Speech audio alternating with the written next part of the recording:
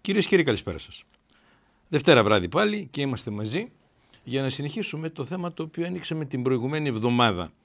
Ε, και επιτρέψτε μου για δύο λεπτά να αναφερθώ σε αυτό για να μπορέσουν οι τηλεθεατές να συνδεθούν όσοι ίσως και δεν είδαν την προηγούμενη εκπομπή. Ε, λέγαμε λοιπόν ότι το θέμα της καθυστέρησης στη δικαιοσύνη είναι πράγματι πάρα πάρα πολύ σοβαρό.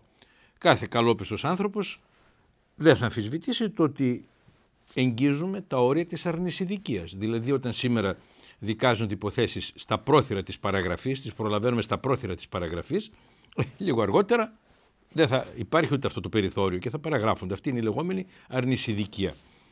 Είναι λοιπόν ένα τεράστιο πρόβλημα, το οποίο πρόβλημα λεκτικά λέγεται πρόβλημα της δικαιοσύνης. Και στην προηγούμενη λοιπόν εκπομπή προσπάθησα να σας δείξω και νομίζω, αν κρίνω από τα τηλεφωνήματά σας και από τις επαφές μας την εβδομάδα που μας πέρασε, νομίζω ότι σε κάποιο βαθμό τα καταφέραμε να δείξουμε δηλαδή ότι δεν είναι πρόβλημα της δικαιοσύνης. Είναι πρόβλημα της γενικότερης δυσλειτουργίας του κρατικού μηχανισμού σε όλα τα επίπεδα. Και, και η μέθοδος αυτή, σε αυτό το κράτος, οτιδήποτε δεν λύνεται αλλού να το φορτώνουμε στη δικαιοσύνη, χωρίς να είναι ουσιαστικά ούτε και να έχει καμιά ιδιαίτερη ας πούμε, ηθική απαξία, ούτε τίποτα από όλα αυτά, να το φορτώνουμε στη δικαιοσύνη, έχει μπλοκάρει εντελώς το σύστημα. Και μόνο να σας θυμίσω, γιατί το αναλύσαμε παρκώς νομίζω, μόνο να σας θυμίσω το παράδειγμα, το πρόσφατο της Ιωνοθύελα αυτής στην Εθνική Οδό, δύο-τρεις ώρες, τέσσερις, δεν ξέρω πόσες, πέντε, παγιδεύτηκαν ένα σωρό άνθρωποι, κατέδειξε ότι δεν λειτουργήσε καμία υπηρεσία. Ούτε η τροχιά, ούτε η Αττική Οδός, ούτε αυτή των των εκτάκτων αναγκών, πώς λέγεται αυτό το Υπουργείο, ούτε τίποτα. Τίποτα απολύτως δεν λειτουργήσε. Ο καλός Θεός μόνος σταμάτησε τη χιονόπτωση την ώρα που τη σταμάτησε. Αλλιώς θα είχαμε θρυνήσει νεκρούς. Όλο αυτό λοιπόν, unblock που λέμε μαζικά, το πέταξα στη δικαιοσύνη με τη μέθοδο αυτή. Από εδώ και πέρα την καθόλου νόμιμη βέβαια, της διεκδίκησης αποζημιώσεων. Θα, θα κληθεί λοιπόν η δικαιοσύνη να κρίνει χιλιάδες αγωγές, μπλοκάροντας ακόμα περισσότερο το όλο σύστημα. Ε, σήμερα, συνεχίζοντας αυτό το θέμα, να σας θυμίσω πρώτα, πριν συνεχίσω αυτό το θέμα, να σας θυμίσω ότι σας είχα πει ότι επειδή αυτή η εκπομπή τόσα πολλά χρόνια που την γνωρίζετε, ποτέ δεν δίστασε μπροστά στην αλήθεια κτλ. Σας είχα πει ότι ε, αμέσως μετά θα μιλήσουμε και για τα προβλήματα εντός της δικαιοσύνης που συντελούν σε αυτή την, την αργοπορία γιατί και στο εσωτερικό της δικαιοσύνης υπάρχουν λειτουργίες, επιμέρους λειτουργίες, οι οποίες φρενάρουν την απονομή της. Ε, και θα το κάνουμε, εννοείται θα το κάνουμε. Απλώς σήμερα θα μιλήσουμε για κάτι εξαιρετικά σημαντικό, το οποίο το, το, το, το έβαλα έτσι παρένθετα, γιατί δεν είμαι και σίγουρος αν είναι εντός της δικαιοσύνης ή εκτός. Θα μου πείτε, δεν το βλέπουμε ποιο είναι το πρόβλημα. Για να δούμε ποιο είναι το πρόβλημα. Ένα τερά, ένας τεράστιος αριθμός υποθέσεων που φράκαρε τη δικαιοσύνη ανάγεται σε κακή νομοθεσία, σε συγκεκριμένο θέμα, σε εντελώς εσφαλμένη νομοθεσία, η οποία μπλόκαρε τα πάντα. Και όχι μόνο μπλόκαρε τα πάντα στιγμιαία και σιγά σιγά ξεκαθαρίζει το τοπίο, για χρόνια ολόκληρα βασανίζει δικαστές, εισαγγελείς, δικηγόρους και κυρίως, και κυρίως τους ανθρώπους που προσφεύγουν στη δικαιοσύνη για να βρουν το δίκιο τους. Όσο και αν δεν το πιστεύετε, μιλάμε για μια ιστορία πολλών πολλών δεκαετιών πια που έφτασε σήμερα να έχει μπλοκάρει τα πάντα. Ε, θα μιλήσουμε λοιπόν σήμερα για ένα μαρτυρικό διπορικό και εκ των προτέρων σας φαίνεται υπερβολική η έκφραση. Αυτή η καθυστέρηση στη δικαιοσύνη και αυτή η δυσλειτουργία των πολλών ετών δεν είναι μόνο αυτό που μέχρι τώρα εννοεί ο κόσμος με καθυστέρηση. Ότι αργούμε να πάρουμε την απόφαση, αργεί να βγει το δάνειο, ξέρω εγώ τι, αργεί να βγει η διαφορά μας με το γείτονα, αργεί να βγει η διαφορά μας με την τράπεζα. Εδώ θα μιλήσουμε σήμερα για θάνατο. Για θάνατο. Δηλαδή μια δυσλειτουργία τρομακτική και θα δούμε πολλά έγγραφα σήμερα. Πάρα πολλά έγγραφα και αμέσως μετά, όχι αμέσως στην πορεία της δίκης, θα σας πω και πώς, γιατί πάρα πολλά από αυτά είναι υπηρεσιακά πόρυτα κτλ. Θα σας πω πώς βρίσκονται στα χέρια μου, δηλαδή. Μην νομιστεί κανείς ότι. Λοιπόν, θα δούμε πάρα πολλά πράγματα απίστευτα. Ε, και θα καταλάβετε πολύ πολύ γρήγορα γιατί το λέμε μαρτυρικό αυτό το διπορικό. Το οποίο ο διπορικό ξεκίνησε με τις καλύτερες των προθέσεων από άσχετους ανθρώπους. Από άσχετους ανθρώπους. Και εννοείται όσο καλές προθέσεις και να έχει ένας και επειδή αυτή η εκπομπή νομίζω πάντα καλόπιστα ομιλεί. Εγώ δεν μπορώ, ούτε, ούτε έχω και στοιχεία δηλαδή, να καταλογίσω κακοπιστία και δόλο σε κανέναν. Αλλά άγνοια συγκεκριμένων επιστημονικών παραμέτρων δεν θα την καταλογίσω εγώ, θα την καταλογίσετε εσείς. Άκουστε λοιπόν, αυτός ο τομέας λοιπόν, ο τραγικός, είναι ο τομέας της διαχείρισης της ποινικής καταστολής του προβλήματος των ναρκωτικών ουσιών. Τραγική είναι, τραγική είναι η διαχείριση του προβλήματος αυτού, με τραγικά αποτελέσματα, με πεθαμένους ανθρώπους, με εξαθλιωμένους χρήστες, οι οποίοι απενε, απενεπλάκησαν από τα ναρκωτικά κάποια στιγμή και ξαναβρέθηκαν στις φυλακές εξαιτίας παραπτώματος που έγινε πριν 3, 4 ή 14 χρόνια και κατεστράφησαν τελείως και οι οικογένειες και τα λοιπά. Τραγωδίες ασύλληπτες και θα δείτε τώρα μια ιστορία, ένα οδηπορικό που το λέω εγώ που θα τρίβετε τα μάτια σας. Ξεκινάμε. Ξεκινάμε. Το 1987 βγήκε μια υπουργική απόφαση, ένα νό, νόμος δηλαδή, ο οποίος συνοδεύτηκε και από υπουργικές αποφάσεις. Ο περιβόητος 1729 λοιπόν, αυτός είναι ο νόμος θρύλος, ασχέτως των ε, προσθήκων, των ε, τροποποιήσεων κτλ, κτλ. που γίνανε τα πολλά αυτά χρόνια. Αυτός ο νόμος λοιπόν ξεκίνησε με άριστες προθέσεις. Αν διαβάσει κανείς αυτά που λέμε, οι συγγετικές εκθέσεις και τέτοια που λέμε στη δουλειά αυτή, θα δει ότι είχαν καλές προθέσεις. Ε, και κυρίως η τότε υπουργική απόφαση, η θρηλυκή, τούτε εδώ που θα δείτε εκεί πέρα, η απόφαση η οποία είναι στην πρώτη εικόνα νομίζω. Ναι, λοιπόν, αυτή λοιπόν είναι η σχετική υπουργική απόφαση η οποία και θα απορρίσετε τώρα πώς αυτή η απόφαση μπόρεσε και διέλυσε τα πάντα. Ε, δεν ξέρω αν φαίνεται εκεί. Είναι μια απόφαση που προσπαθεί να αντιμετωπίσει το πρόβλημα της διάγνωσης της εξάρτησης από τους, από τους χρήστες. Λοιπόν, η διάγνωση λοιπόν της εξάρτησης γίνεται με δύο τρόπους με αυτή την απόφαση. Ε, παραλείψτε λίγο, αν όσο διαβάζετε, θα σας το διαβάσω και εγώ, παραλείψτε τα πρώτα που λέει έχοντας υπόψη τα τάδε άρθρα και τον τάδε νόμο και τον τάδε διάταξη και όλα αυτά τα που γράφουν αυτοί οι νόμοι. Πάμε. Άρθρο πρώτο. Έλεγχος της χρήσης ναρκωτικών ουσιών. Εργαστηριακός έλεγχος. Αυτός γίνεται με τοξικολογική ανάλυση και, και προσέξτε πριν προχωρήσουμε τι ωραία πράγματα που θα διαβάσουμε τώρα το, το προσεχές λεπτό της ώρας. Αυτό γίνεται με τοξικολογική ανάλυση σωματικών υγρών του εξεταζομένου. Παρένθεση, αίμα, ούρα, σε χρόνο μικρότερο από 48 έως 72 ώρες από την τελευταία λήψη της ναρκωτικής ουσίας. Δηλαδή, να μην διαβάσουμε παρακάτω, παίρνουμε λοιπόν σωματικά υγρά του χρήστη ή αυτού που επικαλείται ότι είναι εξαιρετημένος χρήστης. Και, και το δεύτερο που πρέπει να γίνεται, κλινικός έλεγχος. Ο εξεταζόμενος εισάγεται άμεσα για κλινική παρακολούθηση σε δημόσιο νοσηλευτικό ίδρυμα ή ειδικό σοφρονιστικό κατάστημα για πέντε τουλάχιστον ημέρες. Κατά τη διάρκεια ε, του κλινικού ελέγχου γίνεται αυτό, πραγματοποιείται συμπληρωματική και πλήρης σωματικός έλεγχος κτλ. κτλ. Δύο πρα... Ας πάρουμε την εικόνα. Δύο πράγματα λοιπόν χρειάζονται για να διαγνωστεί εξάρτηση. Δηλαδή να μην κατά κάποιο τρόπο ούτε να δικείται κανένας χρήστης, αλλά ούτε και να ξεγελιέται η δικαιοσύνη ή η αστυνομία, οποιοδήποτε επιλαμβάνεται.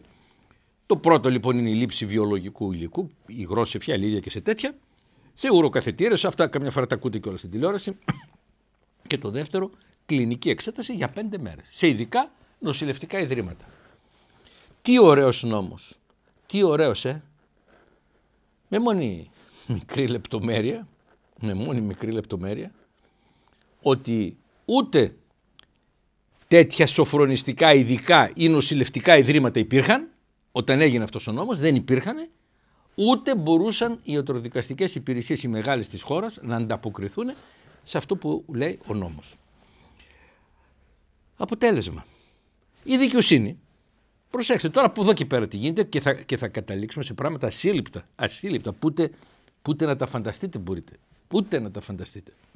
Η δικαιοσύνη λοιπόν, από τη μέρα που εφαρμόστηκε αυτός ο νόμος και δημοσιεύτηκε στην εφημερίδα της κυβερνήσεως και οι συνοδευτικές αυτές υπουργικές αποφάσεις, άρχισε εύλογα να εφαρμόζει τον νόμο.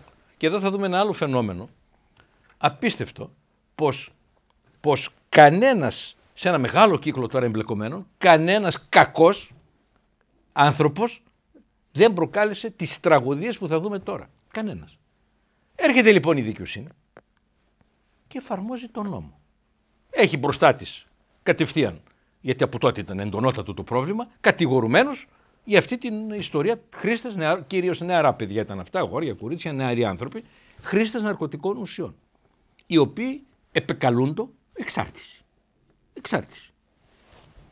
Βέβαια, εγώ τα θυμάμαι σαν και σήμερα, είχαν τατουάζ, είχαν όλα αυτά τα σχετικά, αλλά αυτό δεν είναι. Δεν προβλέπει ο νόμος με το μάτι του δικαστής ή ο εισαγγελέα οποιοδήποτε να πει και να γνωμοδοτήσει. Έβγαινε λοιπόν, τα συνελάβανε λοιπόν η αστυνομία, τα πήγαινε στον εισαγγελέα τα παιδιά, η αστυνομία μια χαρά έκανε τη δουλειά της. Ερχόταν λοιπόν, παρεπέμποντο, όπως σας είπα, στην εισαγγελία, στον εισαγγελέα και διετάσσετο η διενέργεια πραγματογνωμοσύνης για να διαπιστωθεί αν αυτά τα παιδιά λοιπόν πώς θα γίνει η πραγματογνωμοσύνη; Με παρακολούθηση πέντε ημερών σε σοφρονιστικά κέντρα, καταστήματα. Ειδικά. Ανύπαρκτα αυτά. Ο εισαγγελέας έβγαζε την παραγγελία. Νόμιμα; Νομιμότατα. Αυτό έλεγε ο νόμος. Τον παρέδιδε ε, του η αστυνομία ή όποιος τον είχε φέρει στο γραφείο να τον πάρει να τον πάει στο ειδικό σοφρονιστικό ίδρυμα. Το ανύπαρκτο. Το ανύπαρκτο. Αποτέλεσμα. Δεν μπορούσε να γίνει τίποτα για τη διάγνωση της εξάρτησης. Τίποτα.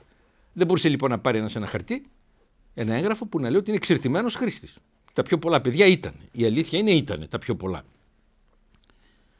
Γυρνούσε πίσω η ομάδα των αστυνομικών, το αυτοκίνητο, δεν ξέρω ποιος τον πήγε. Δεν, πού να τον πάμε, γύρναγα πίσω τον άνθρωπο αυτόν. Και πήγαινε στο δικαστήριο να δικαστεί χωρίς καμία βεβαίωση ότι είναι εξερτημένο. Και να θυμίσω αυτό που είπαμε την προηγουμένη φορά, ότι αυτά δεν είναι νομικές ασκήσεις για τα πανεπιστήμια. Ο εξερτημένο χρήστης για την ίδια πράξη μπορεί να τιμωρηθεί με δύο και με τρία χρόνια φυλάκισης. Ο μη εξερτημένο χρήστης για την ίδια πράξη μπορεί να τιμωρηθεί με 15 χρόνια κάθριξης. Μπορεί. Αυτά είναι και βέβαια ε, έχουν ένα εύρος μεταξύ τους όλα αυτά να μην είναι 15, να είναι 12, ξέρω εγώ. Σας λέω τώρα σχηματικά. Δηλαδή οι διαφορές είναι κολοσιαίε. Αναγκάζεται λοιπόν ο, προ, ο εισαγγελέας του Αριού Πάγου, γιατί δημιουργήθηκε αμέσως κοινωνικό πρόβλημα. Αναγκάζεται λοιπόν ο εισαγγελέας του Αριού Πάγου, πολύ γρήγορα, για δείτε την επόμενη εικόνα. Α, αυτό, αυτό, κοιτάξτε τώρα, αυτό είναι, το, η δεύτερη, συγγνώμη τώρα, αυτό ξέχασα να σας το δείξω, είναι η δεύτερη ας πούμε ε, παράγραφος του εγγράφου της, της, της, αυτής του, του τότε Υπουργού Κάποιος φλόρο ήταν τότε, νομίζω ήταν και γιατρός αυτός ο άνθρωπος. Τέλος πάντων, καλόπιστος άνθρωπος, αλλά, αλλά. Και κατά τη διάρκεια του κλινικού ελέγχου πραγματοποιούνται αυτά, πραγματοποιούνται και πραγματοποιούνται τα άλλα. Όπως είδατε, δεν μπορούσε να πραγματοποιηθεί τίποτα. Πολύ γρήγορα λοιπόν, ο εισαγγελέας του Αερίου Πάγου, δεν ξέρω αν το έχουμε το αμέσως επόμενο, το αμέσως επόμενο, γνωμοδότηση λοιπόν του εισαγγελέα του Αερίου Πάγου προς το Υπουργείο Δικαιοσύνης, η οποία λέει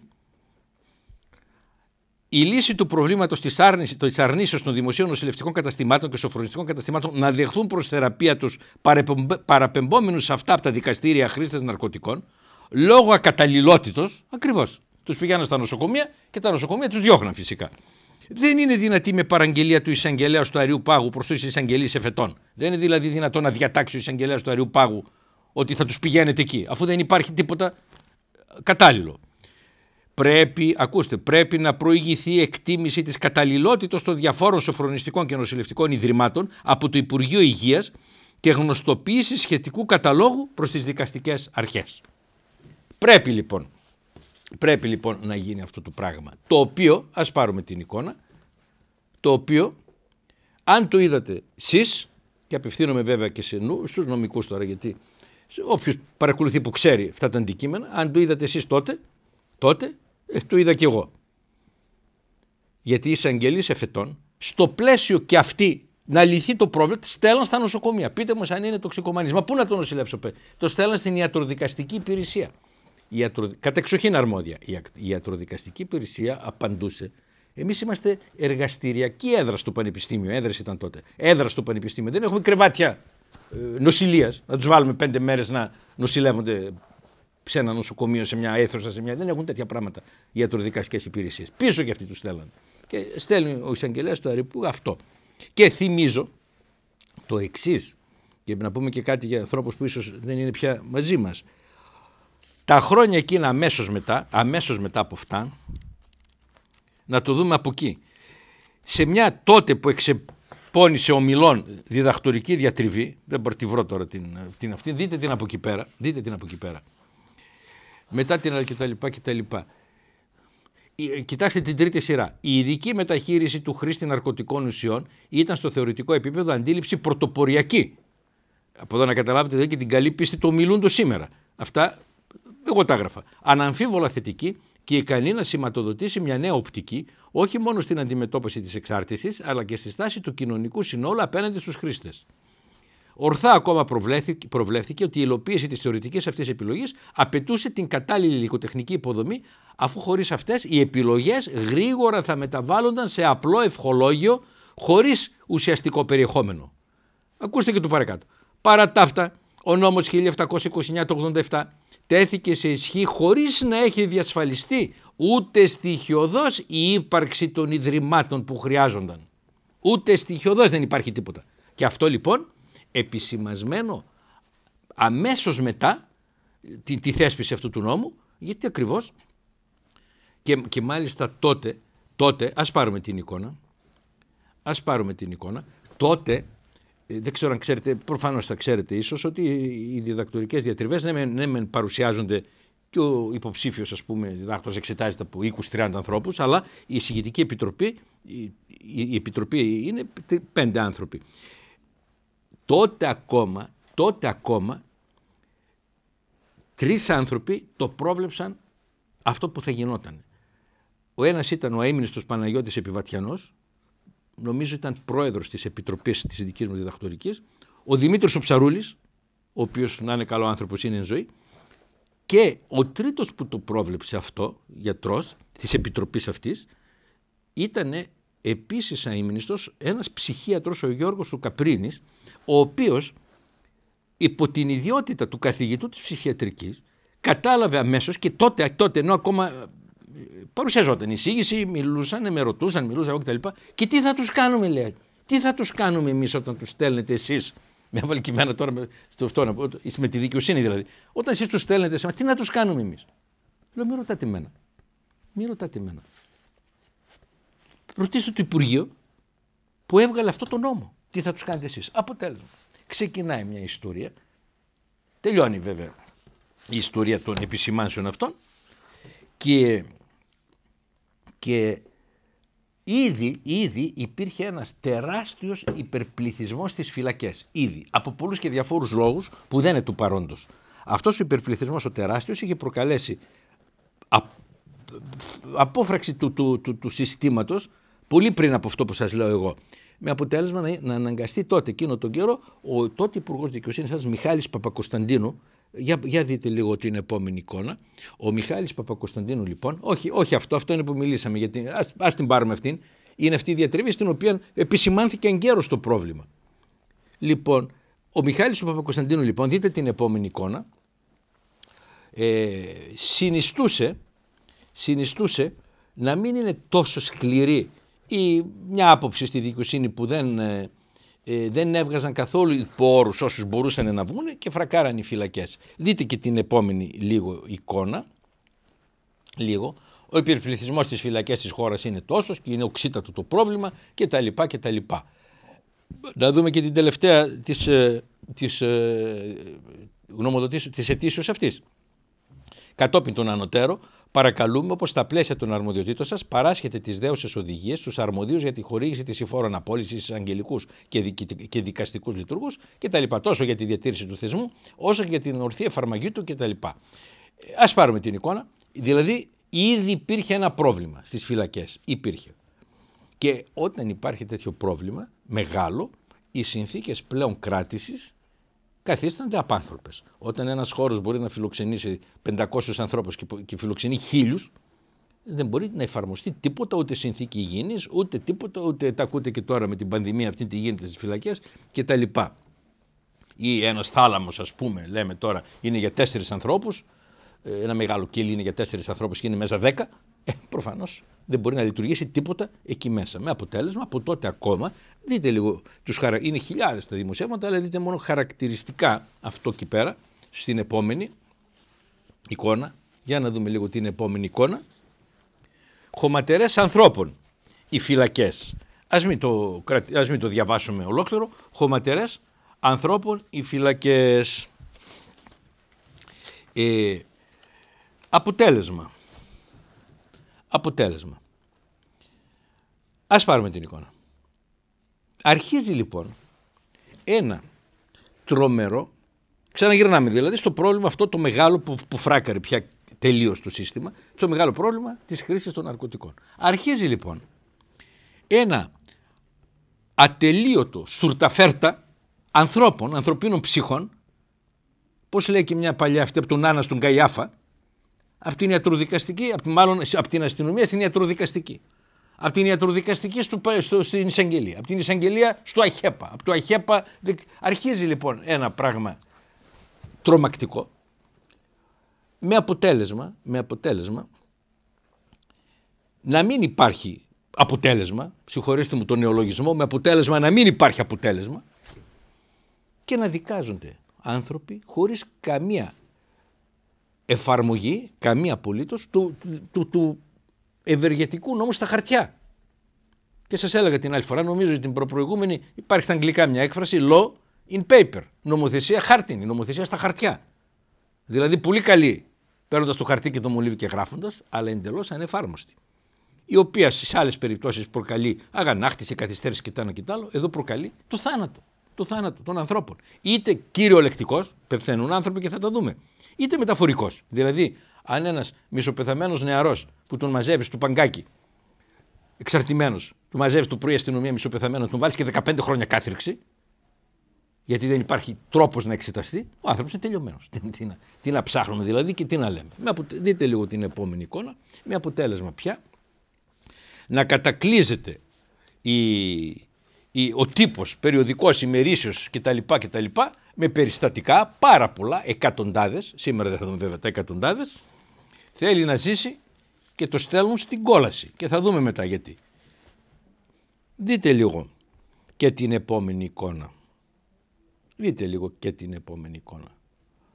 Ο θάνατος πρόλαβε νόμους και πιστοποιητικά. Οι χαμένες εκκλήσεις ενός 27χρονου για αποτοξίνωση. Παρακαλάγαν τα παιδιά, παρακαλάγαν. Μετά έγινε και ένα αυτό ακόμα χειρότερα, γίνανε τα πράγματα μετά υποκατάστατα, ακόμα χειρότερα εκεί πέρα. Να περιμένεις χρόνια στην ουρά. Ας πάρουμε την εικόνα.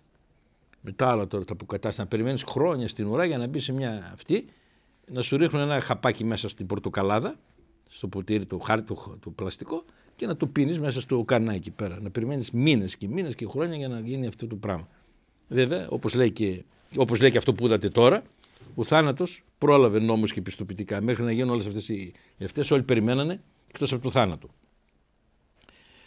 Και αριθμητικά αρχίζουν τα μεγέθη πια. Για δείτε την επόμενη εικόνα. Αρχίζουν τα μεγέθη. 2.500 τοξικομανείς στις φυλακές. Λοιπόν, να το μεταφράσω εγώ, 2.500 άρρωστοι άνθρωποι, άρρωστα παιδιά στις φυλακές. Όπου δηλαδή, σε, σε, σε, σε δημόσιες υπηρεσίες δηλαδή, που είναι για τους εγκληματίες. Που είναι για τους εγκληματίες. Δείτε λίγο από πιο κοντά μια παράγραφο εκεί πέρα, αν μπορούν οι τεχνικοί μας λίγο να το φέρουν εκεί που είπαμε.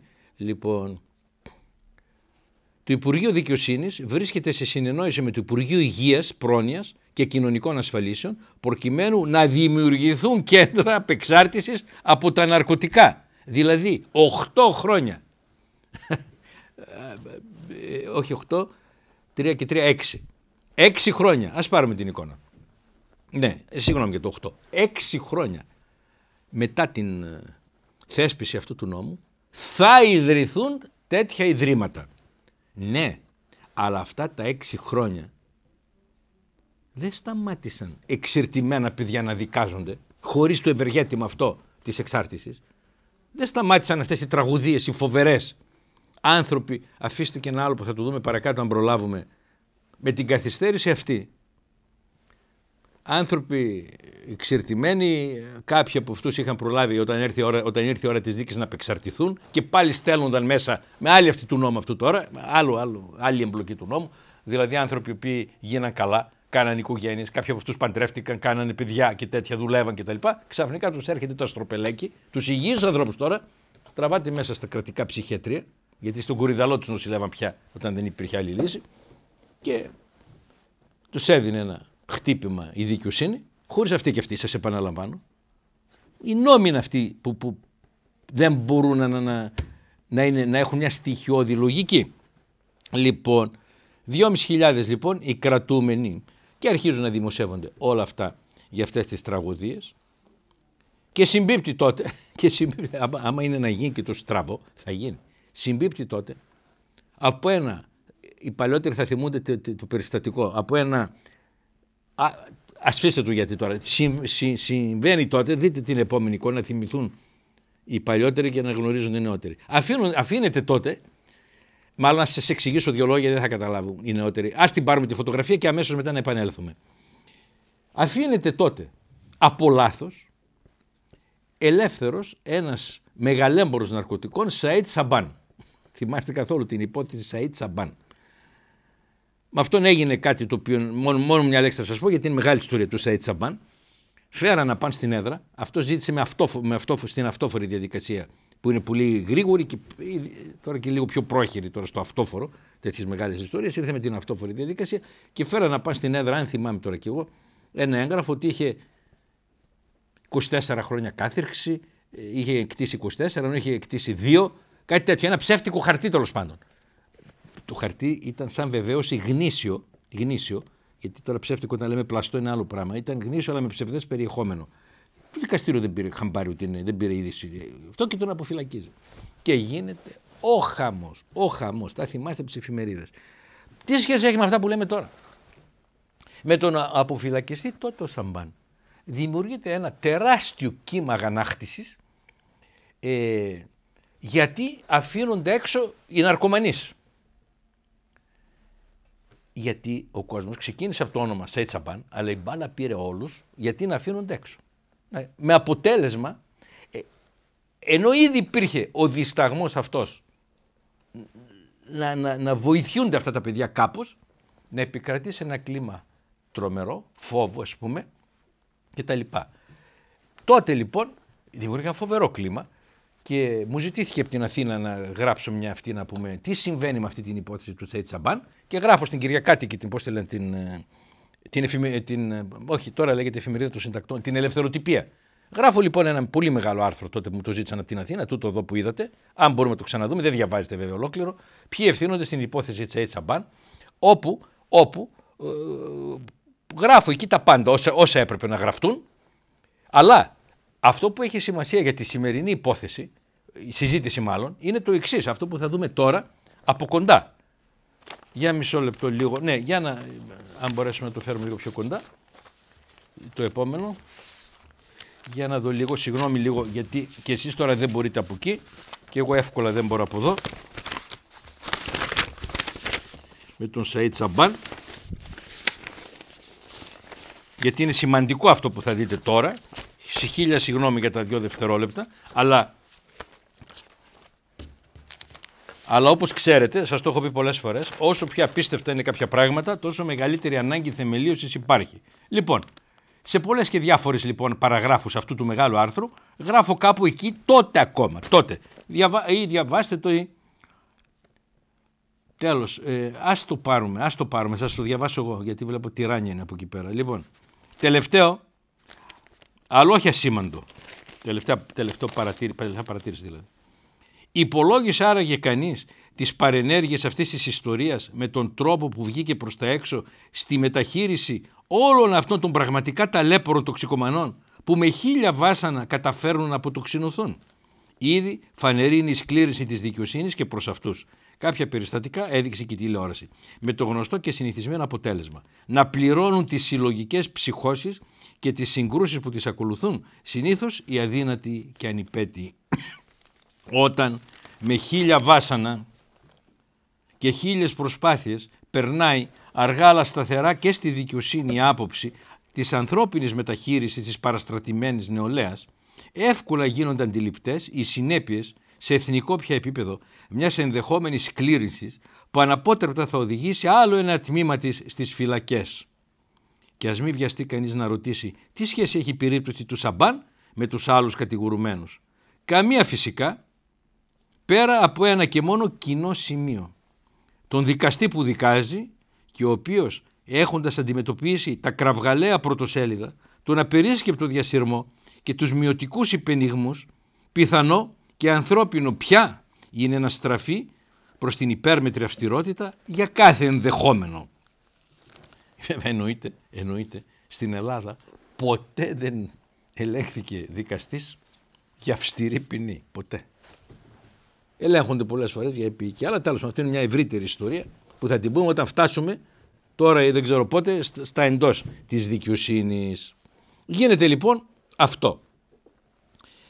Ε, και ας δούμε λίγο την επόμενη εικόνα. Να δούμε για ένα λεπτό. Λοιπόν, ε, ας, ας, την πάρουμε, ας την πάρουμε και ίσως χρειάζεται να την ξαναδούμε.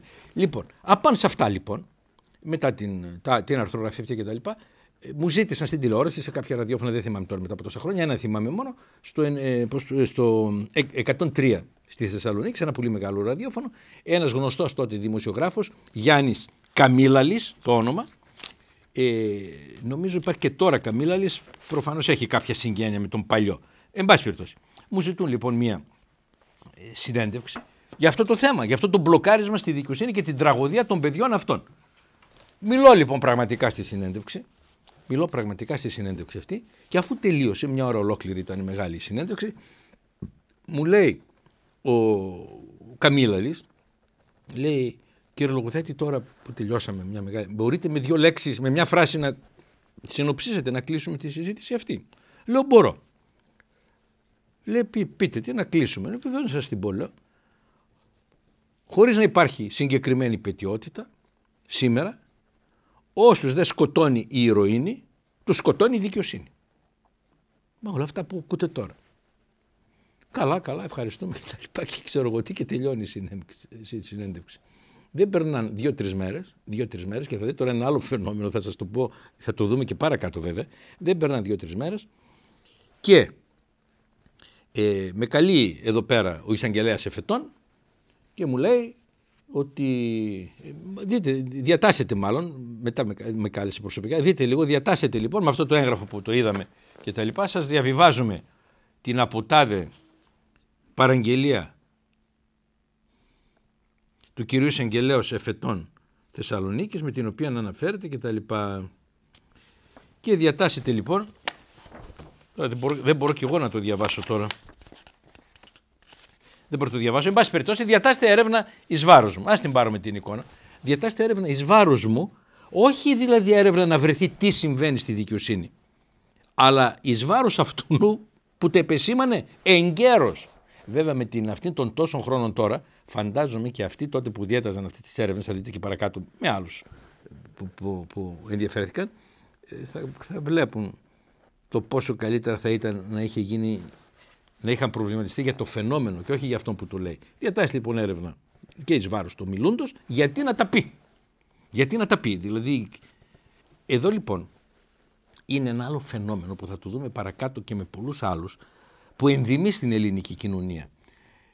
Σε αυτό το φαινόμενο, αυτό το φαινόμενο μπορεί να χαρακτηριστεί με, μια, με ένα χαρακτηρισμό που δεν ξέρω αν είναι ορθός, είναι δικής μου ας πούμε, εγώ το σκέφτηκα έτσι, είναι θα το έλεγα εγώ, ο τρόμος της αλήθειας. Ουέ και αλίμονος στην Ελλάδα να πεις την αλήθεια για μια κατάσταση. Ουέ και αλίμονο. Πες ό,τι άλλο θέλεις. Κρίνει όποιον θέλεις. Ό,τι, ό,τι σου κατέβει πες, όπως είδατε και βλέπετε κάθε μέρα, κανείς δεν ενοχλείται. Τόλμησες να πεις την αλήθεια σε ένα χώρο, στον οποιοδήποτε, στη δίκηση, στη δικαιοσύνη, στο εσύ, στην υγεία. Τελείωσες. Θα το δείτε αυτό και παρακάτω. Εν πάση περιπτώσει, διατάσσεται αυτή η έρευνα και μπήκε στο αρχείο αμέσως δηλαδή. Όπως πάντα, εγώ έχω τέτοια στοιχεία που δεν μπορεί κανείς να πει το αντίθετο. Μπήκε στο αρχείο αμέσως. Αλλά αυτό δεν είναι το ότι μπήκε στο αρχείο, είναι η αντίδραση αμέσως να καταδιωχθεί αυτός ο οποίος είπε την αλήθεια. Πάμε λίγο παρακάτω τώρα. Μέσα σε αυτό το σκηνικό λοιπόν της τρομακτικά βίαιης συμπεριφοράς προς τους χρήστες εξαιτίας αυτού του τεράστιου κενού του νόμου και εξαιτίας πια αυτής της φοβίας που εξαπλώθηκε στο δικαστικό σώμα, τα δικαστήρια οι κατηγορούμενοι πρώτα, να το πω έτσι, γιατί από εκεί ξεκινάει, οι κατηγορούμενοι λοιπόν, δια των συνηγόρων τους, ζητούσαν αθρώε αναβολές, προτιμούσαν οι άνθρωποι να μένουν στη φυλακή ακόμα, ενώ συνήθως οι φυλακισμένοι δεν ζητάνε αναβολές, ανάποδα είναι το σύστημα εδώ. Εδώ ζητούσαν με κάθε τρόπο αληθινό ή ψεύτικο αναβολές να ξεφύγουν από την κατάσταση αυτή με την προοπτική να δούμε τι θα γίνει. Να αλλάξει κάτι. Το οποίο κάτι δεν είχε δρομολογηθεί καν πουθενά, αλλά στην απόγνωση το άλλος τώρα. Που να πάει να τιμωρηθεί με 15 χρόνια τώρα για 3 γραμμάρια και για 5 και για 10. Χασίς, άλλη ιστορία αυτή τώρα. Είναι ατέλειωτες οι ιστορίες αυτές. Στην απόγνωση, τουλάχιστον τη φράση να τελειώσω. Στην απόγνωσή του αυτός ο άνθρωπος ήθελε αναβολή με το ζόρι, να μην πάει. Και, και μετά τρεις μήνες, 5, 15, όταν ξαναγινόταν η υπόθεσή του, η ελπίδα πεθαίνει τελευταία που λέμε. Παρενθεσούλα για να μην το ξεχάσω, είπα τη λέξη χασίς. Σε αυτά λοιπόν τα σοφά νομοθετήματα, τι γινόταν; Ο διακινητής ή έμπορος χασίς, ο διακινητής ή ο χρήστης χασίς, ξέρω εγώ κτλ. κτλ, κτλ τιμωρείτο βαρύτερα από τον χρήστη ηρωίνης ή τον, μικρο, ή τον διακινητή ηρωίνης. Γιατί; Γιατί; Γιατί; Τα καναβιδοειδή, οι καναβινόλες, περιέχουν μια ουσία βέβαια τετραεδροκαναβινόλη λέγεται, δεν εγκαθιστούν σωματική εξάρτηση. Ένας λοιπόν που έκανε χρήση μόνο χρυσής δεν μπορούσε να έχει βεβαίωση ότι είναι εξηρτημένος. Άρα πήγαινε με τη σκληρή εκδοχή του νόμου. Ο άλλος ο οποίος τώρα χρησιμοποιούσε ηρωίνη, είχε καταστραφεί και ο ίδιος, είχε καταστρέψει κι άλλους και ήταν βαριά εξαρτημένος βέβαια, ε, τιμωρείται με μια μικροπινή. Άλλο πάλι παράξενο αυτής της νομοθεσίας που που κατέληγε να εξοντώνει τον χρήστη του χασίς και να είναι σχεδόν ατιμόρυτη. Άλλη ιστορία αυτή, είναι πολύ, πολύ μεγάλη ιστορία και αυτή με, τα, με το χασίς και τα καναβιδοειδή. Σε σχέση με τα οπιούχα, τώρα μην σας ζαλίσω, αλλά τα, τα ναρκωτικά δεν είναι όλα μαζί σε ένα τσουβάλι. Είναι οπιούχα, είναι καναβιδοειδή, είναι πολλά πολλά. Λοιπόν, ε, καμιά μέρα πρέπει να τα πούμε και αυτά για να είναι γνωστά. Εν πάση περιπτώσει. Ζητούσαν λοιπόν αθρώα αναβολές οι πάντες. Αποτέλεσμα. Δεν δικαζόταν σχεδόν καμιά δίκη. Καμιά δίκη. Τέτοι, τέτοιου είδους δηλαδή εννοώ. Γιατί βέβαια δεν ήταν μόνο τέτοια στα δικαστήρια, ήταν και ένα σωρό άλλα. Ό,τι φανταστείτε. Βιασμοί, σκοτωμοί, τροχέα, ό,τι, ό,τι, ό,τι φανταστείτε. Από αυτές τις δίκες δεν δικαζόταν καμία. Του καμία σχηματικά του. Μπάει δικαζόταν και καμιά σε μια δικάση μου. Όλες οι άλλες αναβαλότανε οι δικαστές προφανώς ευφύε άνθρωποι είναι, καταλαβαίναν τι γίνεται, αλλά και τι να κάνουν κι αυτοί. Τι να κάνουν κι αυτοί. Και πολλές φορές με πόνο ψυχής βάζαν τα 15 και τα, γιατί τότε είχε γίνει και μια φοβερή καταφορά κατά των δικαστών, η οποία ε, σε μεγάλο μέρος ήταν άδικη. Ήταν άδικη. Εν πάση όμως περιπτώσει. Με, με πολλές φορές, γιατί εδώ δεν μπορώ να σας πω περισσότερα πράγματα, αλλά με πόνο ψυχής βάζανε αυτές τις ποινές. Τι να κάνουν και τι να δείξουν κι αυτοί. Τέλος πάντων. Υπήρχε λοιπόν αυτό το κλίμα των ψεύτικων αναβολών, από το γιατρό, από το, πώς το λέγανε, ήταν και κάτι αρρώστιες τώρα που τις λέγανε δικαστικές, ε, κολλικός του νεφρού ήταν το ένα, δεν θυμάμαι το άλλο ποιο ήταν, το ένα ήταν ο κολλικός του νεφρού, ξέρετε τέλος πάντων, χαρτιά από εδώ από εκεί, αναβάλλεται, αναβάλλεται, αναβάλλεται. Μια μέρα λοιπόν, γίνεται το εξής, αυτό που σας λέω ότι μην τολμήσεις και πεις την αλήθεια. Μια μέρα λοιπόν, δικαζότανε Καταρχάς, πριν από αυτή τη μέρα, κάποιος άλλος συνάδελφος της Θεσσαλονίκης, γνωστός εμπειρότατος δικηγόρος, αμέμπτου φυσικά ήθος, χωρίς καμία ανάμειξη ο άνθρωπος και αυτό προσωπικά πουθενά, κάνει μια αναφορά για αυτή την κατάσταση. Να δούμε την αναφορά αυτή μόνο έτσι, να... γιατί σας τα λέω εγώ προφορικά. Κάνει λοιπόν αυτή την αναφορά. Ο συνάδελφος αυτός λέγεται ε, Μιχάλης Παναγιωτόπουλος, κάνει μια αναφορά και πληροφορούμε, κύριε Πρόεδρε, λέει, στον Πρόεδρο του Δικηγορικού Συλλόγου, ότι εξαιτίας δημοσιευμάτων του τύπου, με αφορμή την κάποτε απόλυση των φυλακών του εμπόρου ναρκωτικών Σαΐτ Σαμπάν, διατάχθηκε και διεξάγεται το ένα και το άλλο και το άλλο. Λοιπόν, αφού λοιπόν περιγράφει το τι έγινε, αυτά που σας είπα δηλαδή, λέει κάπου μέσα στην αναφορά, νομίζω εκεί που είναι οι αυτές που έβαλε και οι αγγείλε, για να δούμε την επόμενη εικόνα. Από ό,τι θυμάμαι τώρα, προχθές τα έβαλα, αλλά ναι, λοιπόν, ναι. Λοιπόν, και σας παρακαλώ για ένα θέμα ζωτικής σημασίας κτλ. Μέχρι σημείο ώστε όπως φοβούμε, στο μέλλον δεν προβλέπεται να λειτουργήσουν υπέρ οποιοδήποτε κατηγορουμένου όλες εκείνες οι ευεργετικές διατάξεις νόμων που απόκειται στην κρίση δικαστών, όπω λόγω χάρη προσωρινή απόλυση, φόρο αναστολή κτλ. Προβλέπω ότι μας έρχεται ένα νέο ψυχρό κύμα όπου οι δικαστές μας θα αισθάνονται περισσότερο ασφαλείς στις καρέκλες του όταν καταδικάζουν αντί να θώνουν και όταν θα απορρίπτουν αιτήματα αντί να τα δέχονται. Και, και, και λοιπά και λοιπά. Και έτσι θα γεμίζουν οι φυλακές. Ας πάρουμε την εικόνα. Και με αυτή την αναφορά και με αυτή την αναφορά δεν έγινε τίποτα.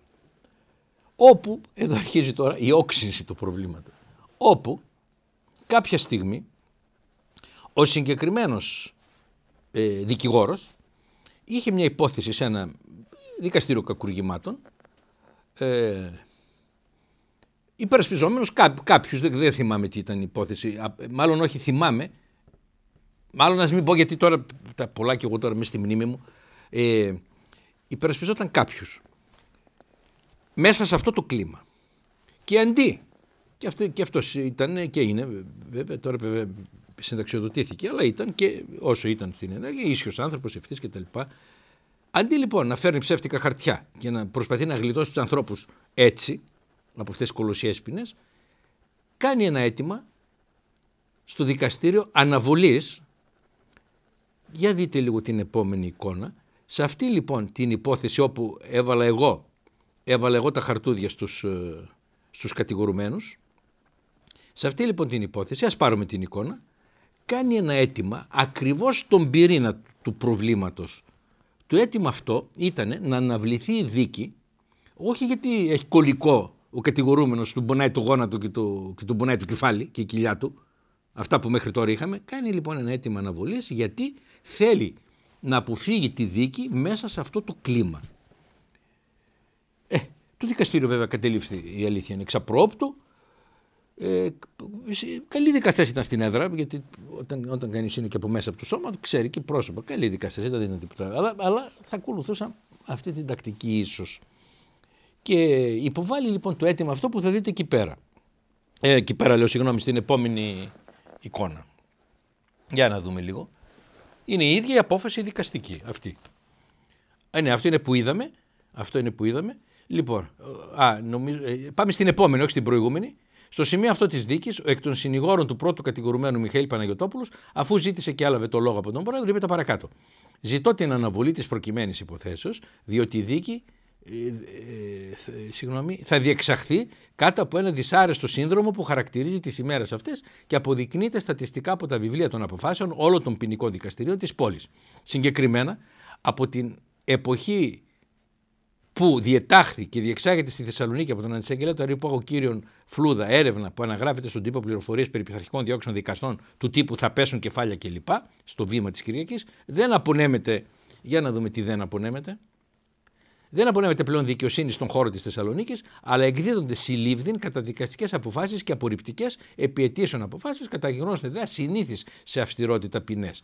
Βασίμως συμπεραίνει κανείς ότι τα δικαστήριά μας δεν λειτουργούν υπό καθεστώς ελεύθερης και αδέσμευτης συνείδησης των δικαστών, αλλά υπό το κράτος φόβου για τον κίνδυνο του πειθαρχικού ελέγχου. Υπό τα δεδομένα αυτά κτλ. κτλ και καταλήγει να ζητεί αναβολή για αυτό το λόγο. Στο τέλος, ο λόγος δόθηκε και στους υπολείπους παρόντες συνηγόρους υπερασπίσεως, οι οποίοι είπαν ότι συμφωνούν με την πρόταση και τα λεχθέντα από τον συνάδελφό τους κύριο Παναγιοτόπουλο. Α πάρουμε την εικόνα. Α πάρουμε την εικόνα. Βέβαια, αυτό ήταν μια κίνηση ας πούμε ε, ε, ειλικρινέστατη βέβαια. Ε, αυτό ήταν το κλίμα όπως σας είπα. Αλλά το δικαστήριο τι μπορούσε να κάνει, η αλήθεια είναι, δεν μπορούσε ε, να δεχθεί την αναβολή με αυτό το αιτιολογικό. Ήταν σαν να παραδεχόταν ότι φοβάται το δικαστήριο. Τέλος πάντων, το θέμα είναι άλλο όμως τώρα, δεν είναι τόσο αυτό, όσο εξαιτίας λοιπόν αυτής της δηλώσεως και εδώ τώρα είναι μια, ένα δεύτερο κομμάτι αυτής, εξαιτίας αυτής της δηλώσεως.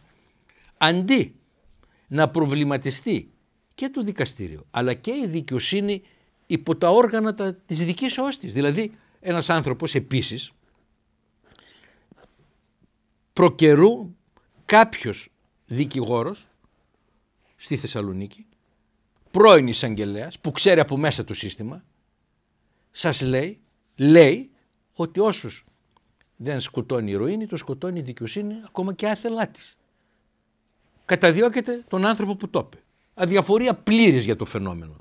Λέει ένας άλλος, λίγο καιρό μετά, ότι θέλω αναβολή γιατί θα συντρίψετε τους κατηγορουμένους. Αντί να προβληματιστεί οποιοδήποτε δικαστικός σχηματισμός, αδιαφορεί τελείως είναι, είναι ο τρόμος της αλήθειας. Αυτό που σας είπα και πριν. Ο τρόμος της αλήθειας. Αδιαφορεί τελείως, γιατί ας έκανε μια έρευνα. Μπορεί να λέει και ψέματα, μπορεί να τα βάλει και από το μυαλό του. Και ο Λογοθέτης και ο Παναγιώτοπουλο και στη συνέχεια το μισό πανεπιστήμιο που βρέθηκε στο Σκαμνί. Θα δείτε σήμερα πράγματα, αν προλάβουμε, που ούτε, ούτε δεν θα τα πιστεύατε αν δεν τα βλέπατε στο χαρτί. Τι γίνεται λοιπόν μετά τη δήλωση αυτή, χωρίς να προβληματιστεί κανένας, για δείτε την επόμενη εικόνα, της ιδίας αποφάσεως, το δικαστήριο διατάσσει την αποστολή στον εισαγγελέα πλημελιωδικών Θεσσαλονίκης αποσπάσματος των πρακτικών της δίκης αυτής για να διερευνηθεί αν διεπράχθη αδίκημα εις βάρος του δικαστηρίου τούτου. Λοιπόν, διατάσσεται λοιπόν έρευνα αν διεπράχθη, πώς το είπε εδώ, ε, αδίκημα εις βάρος του δικαστηρίου τούτου. Ας πάρουμε την εικόνα. Πολύ καλά του διέταξε τυπικά, αλλά όμως, όπως σας είπα πριν, με άλλα λόγια τώρα, θα περίμενε κανείς να ψαχθεί, να ερευνηθεί, εάν διαπράχθη αδίκημα και κατά των ταλέπορων αυτών ανθρώπους που τους στηβάζανε μέσα στο γεντίκουλε, μέσα, μέσα στις φυλακές, τότε, τότε μόλις είχε κλείσει, εντάξει, όχι στο γεντίκουλε, που τους στηβάζανε σοριδών στις φυλακές, τους άρρωστους αυτούς τους ανθρώπους. Και σε αυτούς. Διεπράτε το εις βάρος αυτών. Διεπράτε το αδίκημα. Ή τουλάχιστον παράλληλα με την έρευνα αυτή. Πάει δεν ξέρω που πήγε το αντίγραφο αυτής της δικογραφίας με αποτέλεσμα να ασκηθεί ποινική δίωξη κατά του δικηγόρου ο οποίος ήταν, το ήταν ενώ επαγγελματικά γιατί ο άνθρωπος μια χαρά είναι εν ζωή απλώς είναι συνταξιούχος. Ήταν λοιπόν κατά τα λεγόμενα και χωρίς να αμφισβητηθούν από κανένα από, τους, από τα κοσμήματα του νομικού χώρου της Θεσσαλονίκης. Πολυγραφότατος, με, με πολλά βιβλία και εξονομικά κτλ. Αντί να προβληματιστεί το σύστημα, στο πω έτσι, τι γίνεται εδώ πέρα τώρα, τι λένε αυτοί οι άνθρωποι, κατά, πώς το λένε, ε, ποινική δίωξη. Ποινική δίωξη για, προσ... δεν θυμάμαι και το αδίκημα τώρα, τόσα χρόνια, παρόλο που όπως θα δείτε τώρα, τέλος πάντων, τον παραπέμπουν σε δίκη. Παραπέμπουν αυτόν που το είπε, όπως παρέπεψαν και εμένα τότε και βέβαια μπήκε στο αρχείο, παραπέμπουν σε δίκη τον άνθρωπο που επεσήμανε το πρόβλημα. Δεύτερη φορά το λέμε, ο τρόμος της αλήθειας. Πηγαίνει λοιπόν, δικάζεται, γίνεται μια πελώρια δίκη στη Θεσσαλονίκη. Έρχεται ο άνθρωπος πριν τη δίκη, βέβαια, στο γραφείο μου, συνάδελφος τώρα, λέει σε παρακαλώ και τα λοιπά. Και είχαμε την υπεράσπιση του εκεί πέρα από το γραφείο μου και τα λοιπά. Τρομάξαμε, τρομάξαμε να θωθεί. Βέβαια στο τέλος και με σύμφωνη αυτή του εισαγγελέως της έδρας, αθώθηκε αλλαγιά. Σκεφτείτε να καταδικαζόταν κιόλας, ας πούμε, τι σύγκρουση θα υπήρχε του και τι, όπως επήλθε πολύ μετά με το Πανεπιστήμιο. Πόσο δηλαδή λάθος είναι η συλλογιστική. Όποιος μιλάει, τον καταδιώκουμε. Όποιος μιλάει, τον βάλουμε φυλακή. Πόσο λάθος είναι δηλαδή αυτό το σκεπτικό και τι συνέπειες μπορεί να έχει για το σύνολο της δικαιοσύνης. Δεν θα σας πω τι πολύ μεγάλη δίκη, αλλά θα είναι και μεγάλη παρέ... πώς το λένε, παρένθεση, παρέκβαση στην εκπομπή. Τελικώς, οπότε θυμάμαι, βρήκα και προχθές εφημερίδες μία αυτή. Αθώνεται ο άνθρωπος πανηγυρικός. Είναι ο κύριος που είναι με, μπροστά στα μικρόφωνα, αθώνεται πανηγυρικός, ήταν μέσα εκατοντάδες δικηγόρων, δηλαδή όλες οι εφημερίδες παρακολουθούσαν τη δίκη, αθώνεται. Τέλος πάντων.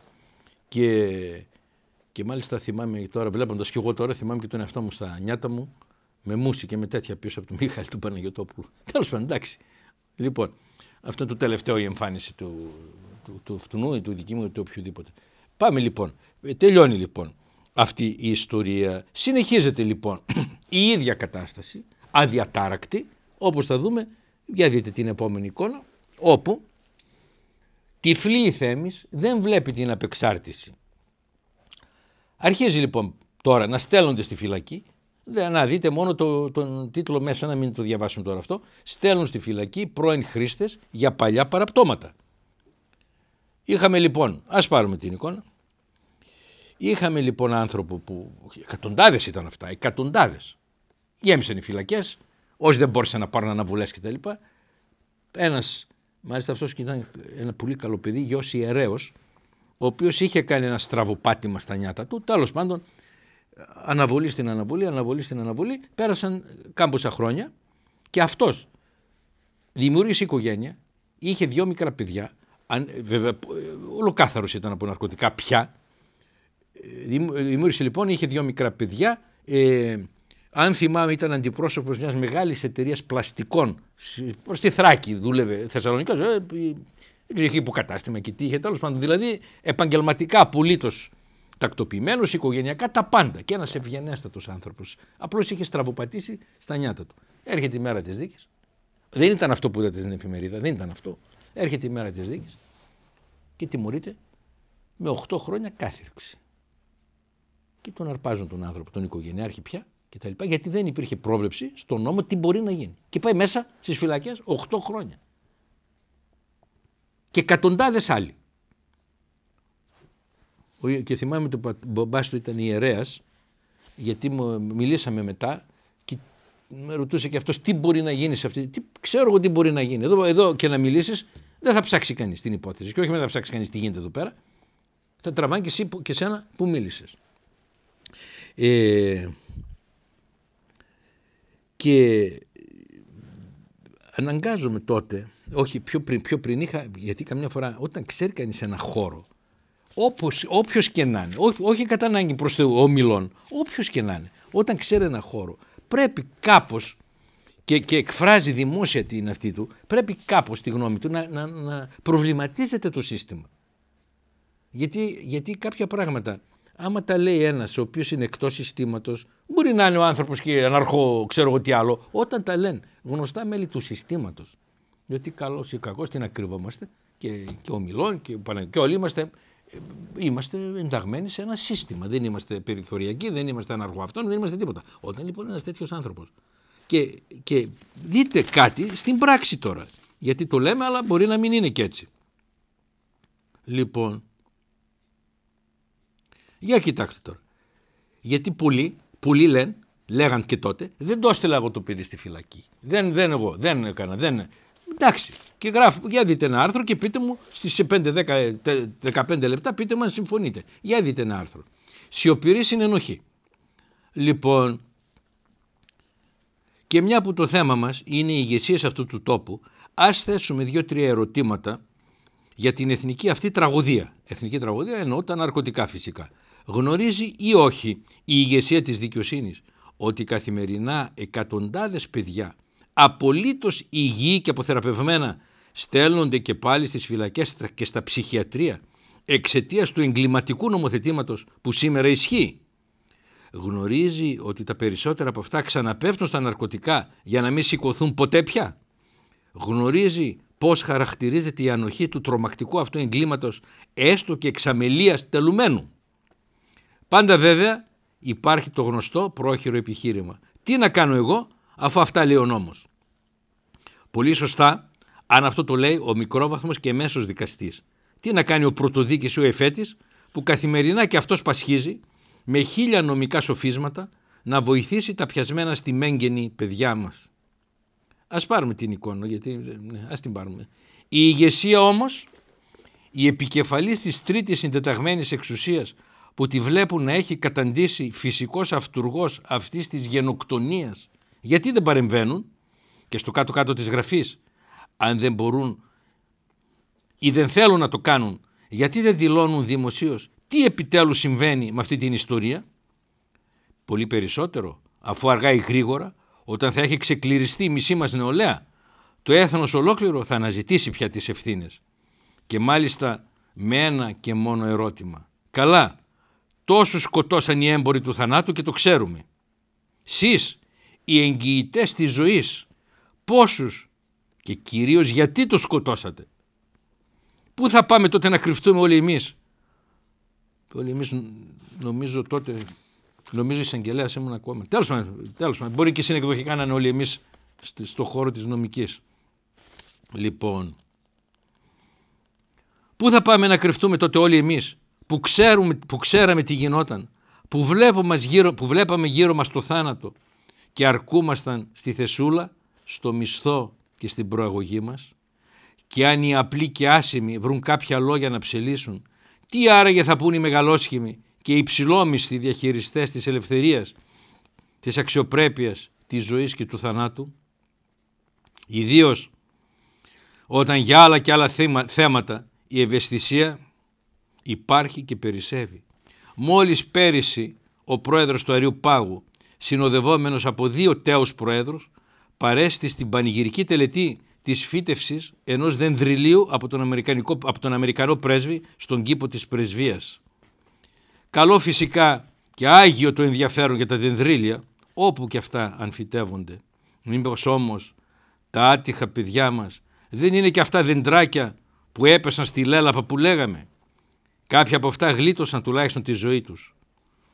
Πού όμως εμείς βρήκαμε το δικαίωμα να τους δίνουμε το τελικό χτύπημα και να τα γκρεμίζουμε μόλις πάνε να σηκωθούν; Και από πού και ως πού η ηγεσία αυτού του χώρου έχει το δικαίωμα της σιωπής με το, με το έολο επιχείρημα ότι άλλοι νομοθετούν. Άλλοι φυσικά νομοθετούν, άλλοι όμως σκοτώνουν. Ποιος άραγε φταίει περισσότερο και ποιος λιγότερο; Η ακριβής κατανομή των ευθυνών δεν έχει και τόση σημασία. Εκείνο που μετράει πέρα από νομικές αναλύσεις και βαθύνσεις είναι η φανερή εικόνα που βλέπει και βιώνει περίτρομος ο κατηγορούμενος. Τρεις ή πέντε δικαστές είναι εκείνοι που εγκλείουν υγιείς ανθρώπους στα ψυχιατρία, όταν αυτό το βασανιστήριο έχει καταργηθεί και στα πεχθέστερα καθεστώτα του πλανήτη μας. Ποιος θα προστατεύσει τελικά και τους ίδιους τους δικαστές από αυτούς τους εξωφρενισμούς, αν όχι η ηγεσία τους, και ποιος θα ενημερώσει την κοινή γνώμη για τους πραγματικούς υπεύθυνους αυτών των νόμιμων εγκλημάτων, αν όχι αυτοί που τάχτηκαν να φυλάγουν θερμοπύλες; Κάποια στιγμή ίσως και πολύ σύντομα, θα πρέπει όλοι να καταλάβουμε πως βασική αρνητική προϋπόθεση για το σημερινό κατάντημα της χώρας είναι η σιωπή όλων μας, που τελικά ελάχιστα διαφέρει από τη συνενοχή. Και αν οι απλοί άνθρωποι έχουν κάποια ελαφρυντικά για αυτή τη στάση, καθόλου δεν συμβαίνει το ίδιο με τους αποτελούντες τις περίφημες ηγεσίες της κοινωνίας μας. Βεβαίως εννοείται, εννοείται δεν, κανείς δεν ενδιαφέρθηκε να διορθώσει κάτι από αυτό το νομοθέτημα και η ζωή συνεχίστηκε. Με την ίδια βέβαια, με τον ίδιο ρυθμό συνεχίστηκε και ο θάνατος. Αυτά λοιπόν, αυτά λοιπόν για την ουσιλία, για την ανυπαρξία των Ιδρυμάτων, τα οποία, δεν ξέρω θα φτάσουμε, δεν θα φτάσουμε τώρα ε, με την ώρα εννοώ, τα οποία ούτε και σήμερα υπάρχουν. Ούτε και σήμερα υπάρχουν. Θα δούμε τώρα πού θα φτάσουμε και πώς θα φτάσουμε. Και βέβαια εννοείται, εννοείται αυτό που αυτή τη χρονική στιγμή διαβάσαμε ίσχυσε τότε για πολλά χρόνια. Δηλαδή γινόταν ο κακός χαμός όπως σας τον περιγράφω και οι μόνοι οι οποίοι δεν αξιώθηκαν μια ανακοίνωση να βγάλουν κατευθυντήρια στο δικαστικό σώμα, στις εισαγγελίες, στις αστυνομίες, από εδώ από εκεί, ήταν η ηγεσία της δικαιοσύνης. Σαν να μην συμβαίνει τίποτα. Σαν να πέθαναν μύγες. Σαν να τιμωρούσαμε δεν ξέρω κι εγώ τι. Τέλος πάντων. Αυτά λοιπόν για τα ιδρύματα. Πάμε στα υλικά. Θα μου πείτε τώρα, μα δεν υπήρχαν υλικά. Αν δεν υπήρχαν υλικά, δεν υπήρχε τίποτα για χρόνια ολόκληρα. Τίποτα. Τα υλικά είναι άλλο πράγμα τώρα. Για να γίνουν αυτές οι εξετάσεις χρειάζονται αντιδραστήρια. Με μια λέξη. Τα αντιδραστήρια είναι πολλών ειδών. Τώρα μην κάνουμε τοξικολογία ή αν θέλετε κάτι μετά να ρωτήσετε να τα πούμε και άλλα. Να θυμηθείτε μόνο, να θυμάστε μόνο ότι υπάρχουν πολλών ειδών αντιδραστήρια. Τα αντιδραστήρια αγοράζονται από το Πανεπιστήμιο, από την ιατροδικαστική υπηρεσία, δεν τα βρίσκεις στον δρόμο και αγοράζονται από εταιρείες που τα παράγουν. Για να αγοραστούν τα αντιδραστήρια, να εξεταστούν αυτά τα παιδιά, χρειάζονται χρήματα. Κάποια στιγμή τα χρήματα τελειώνουν. Κάποια στιγμή οι ιατροδικαστές βάζουν από την τσέπη τους. Κάποια στιγμή τελειώνουν και τα χρήματα από την τσέπη τους. Τι γίνεται μετά; Τι γίνεται μετά; Θα δούμε τώρα τι γίνεται μετά. Χωρίς αντιδραστήρια, χωρίς τίποτα, δείτε την επόμενη εικόνα. Αρχίζει να υπολειτουργεί το εργαστήριο ιατροδικαστής και τοξικολογίας του Πανεπιστημίου. Λοιπόν, ας το πάρουμε αυτό, είναι που διαβάσαμε γιατί σας είπα δεν διαβάζονται καθαρά τα γράμματα. Α δούμε την επόμενη. Ας δούμε την επόμενη. Αρχίζει λοιπόν να περνάει προς τα έξω η κατάσταση στο πανεπιστήμιο. Η ιατροδικαστική υπηρεσία λειτουργεί από θαύμα. Γιατί λειτουργεί από θαύμα η ιατροδικαστική υπηρεσία; Για να δούμε την επόμενη εικόνα. Τι, για να δούμε, να έρθουμε τώρα και στα πιο πρακτικά. Λοιπόν, Laboratory Ελλάδα και τα λοιπά, εργαστήρια και τα λοιπά, της Abbott. είναι μια, μια εταιρεία από τις πολλές, η οποία απορριμήθευε το πανεπιστήμιο με τα αντιδραστήρια αυτά. Και έρχεται λοιπόν η Abbott και λέει κάποια στιγμή το ύψος της οφειλέ, της, των οφειλών σας ξεπέρασε τα 6 εκατομμύρια 611.000 κτλ. Και, και σας καλούμε επιτέλους, είχε στείλει και άλλα ειδοποιητήρια βέβαια, σας καλούμε επιτέλους να πληρώσετε αυτά τα πράγματα γιατί δεν μπορούμε παραπέρα να σας τα δίνουμε δωρεάν. Πολύ σωστά η εταιρεία, η Abbott. Λοιπόν, το, το, το εργαστήριο ιατροδικές και τοξικολογίας του Πανεπιστήμιου της Θεσσαλονίκης λοιπόν απευθύνεται στο Υπουργείο Δικαιοσύνης να δούμε την επόμενη εικόνα. Απευθύνεται στο Υπουργείο Δικαιοσύνης και λέει μέσα εκεί πολλά και διάφορα ε, ότι, ε, ότι πώς το λένε, εξηγεί το τι συμβαίνει, πόσα χρωστάμε και δεν μπορεί να συνεχιστεί αυτό το πράγμα και θα σταματήσουμε και θα κάνουμε. Και προσθέτει στην τελευταία παράγραφο το Πανεπιστήμιο αυτό που θα δούμε στην επόμενη εικόνα σημειώνεται ότι η αναστολή των τοξικολογικών εργασιών συνεπάγεται και αδυναμία συντάξεως και συμπληρώσεως αποτελεσμάτων και ιατροδικαστικό, των, των ιατροδικοστικών εκθέσεων. Ο διευθυντής στο εργαστήριο, τάδε τάδε καθηγητής, ψαρούλης καθηγητής και όλο το, το εργαστήριο συνυπογράφει Τσούκαλη, Τσούγκας, ε, Ντούγκου Τζάου και ο κύριος Ράικο. Λοιπόν, λέκτορας αυτός τότε ακόμα. Λοιπόν, υπογράφει ολόκληρο το εργαστήριο. Θα πιστεύατε ίσως, ας πάρουμε την εικόνα, θα πιστεύατε ίσως ότι συγκινήθηκαν τα υπουργεία και κάτι κάνουν ή κάτι συμβούλευσαν. Τίποτα απολύτως. Με αποτέλεσμα, είδαμε πριν ότι από θαύμα από θαύμα λειτουργεί ιατροδικαστική, αλλά τα θαύματα δεν κρατούν και πολύ. Δείτε την επόμενη εικόνα. Δείτε την. Λουκέτο στην ιατροδικαστική. Έρχεται η ώρα λοιπόν και κλείνει η ιατροδικαστική. Όσο, όσο, ας πάρουμε την εικόνα, όσο τα λέμε αυτά, και βέβαια αυτά τα, τα έγγραφα δεν είναι σε διαδοχική σειρά ημερομηνιών, είναι το ένα μετά το άλλο, αργότερα κτλ. Όλο αυτό το χρονικό διάστημα που, που χαρτούρα πάει και έρχεται, χιλιάδες χαρτιά πάνε και έρχονται, άνθρωποι δικάζονται. Τοξικομανείς δικάζονται. Δεν σταματάει η λειτουργία της δικαιοσύνης, αλλά ποια δικαιοσύνης με το δεδομένο ότι δεν υπάρχουν τέτοιου είδους ιατροδικαστικές πια εκθέσεις, όπως σας είπα, με λουκέτο. Λουκέτο κανονικότατο, στο κυριότερο, στην κυριότερη παράμετρο της μεταχείρισης του χρήστη. Για να δούμε την επόμενη εικόνα. Γίνεται κοινωνικό πλέον θέμα, γι' αυτό ξεπερνάμε και λίγο γρήγορα. Γίνεται κοινωνικό πλέον θέμα. Αυτό που σας είπα προηγουμένως το Λουκέτο στην ιατροδικαστική. Και αρχίζουν κατατίθενται βέβαια. Α πάρουμε την εικόνα και δούμε την επόμενη. Αρχίζουν κατατίθενται βέβαια. Αυτή είναι ερώτηση υπογεγραμμένη από τον κύριο Γεώργιο Χρουμουζιάδη, βουλευτή του Κομμουνιστικού Κόμματος, επίκαιρη ερώτηση στη Βουλή, ακριβώς για αυτό το θέμα για το κλείσιμο, για το λουκέτο στο, στην πανεπιστημιακή, στο Πανεπιστημιακό Εργαστήριο και τη μεταχείριση των χρηστών. Εκ μέρους του Κομμουνιστικού Κόμματος Ελλάδος. Δείτε την επόμενη εικόνα. Ας δούμε την επόμενη εικόνα. Ερώτηση προς τη Βουλή των Ελλήνων της Νέας Δημοκρατίας, βουλευτής της Α Περιφέρειας Θεσσαλονίκης, είναι και γιατρός, καλός επειδή τον ξέρω και προσωπικά, ξέρει το θέμα των ναρκωτικών. Αναστάσιος Σπηλιόπουλος, και γράφει κάτω εκεί με τα κόκκινα, τα κόκκινα εγώ βέβαια τα υπογράμμισα, ε, επειδή τα προβλήματα που δημιουργούνται στην απονομή της δικαιοσύνης είναι τεράστια, με χαρακτηριστικότερο από αυτά τον χαρακτηρισμό συλληφθέντων για ναρκωτικά που υποστηρίζουν ότι είναι τοξικομανείς, αλλά δεν μπορεί να αποδειχθεί εργαστηριακά. Αυτό που σας λέω, δηλαδή δεν μπορεί να αποδειχθεί το μεγαλύτερο ευεργέτημα του άρρωστου παιδιού. Να δούμε την, και την επόμενη εικόνα. Μετά από το πίσω ε, και τα λοιπά. Ο ερωτών βουλευτής Αναστάσιος Σπηλιόπουλος, βουλευτής Θεσσαλονίκης. Ε, τι είναι, δεν δούμε και ένα ακόμα χαρακτηριστικό, γιατί τότε έχει ξεσηκωθεί βέβαια και στη Βουλή και τα λοιπά. Για να δούμε και ένα χαρακτηριστικό. Επόμενο, ερώτηση Ασημίνας, λέει πάνω εκεί ψηλά, Βουλή των Ελλήνων, Ασημίνα Ξηρωτήρη, Παύλα Εκατερινάρη, βουλευτής πρώτη, πρώτης ε, περιφέρειας Θεσσαλονίκης, συνασπισμός της αριστεράς, των κινημάτων και της οικολογίας προ του κύριου υπουργού δικαιοσύνης, δημοσίας τάξη κτλ. Και για να μην λέμε την ίδια, το ίδιο περιεχόμενο, επισημαίνει και η κυρία Ξηρωτήρη σε μια εντονότατη βέβαια ερώτηση ότι τι γίνεται πάνω στη Θεσσαλονίκη στη δικαιοσύνη με αυτά τα, το κλείσιμο αυτό της ιατροδικαστικής. Κάθε στιγμή σωρεύονται τώρα κρατούμενοι στις φυλακές ή αναβάλλονται οι δίκες και όλα αυτά που σας λέω που μπλόκαρε το σύστημα.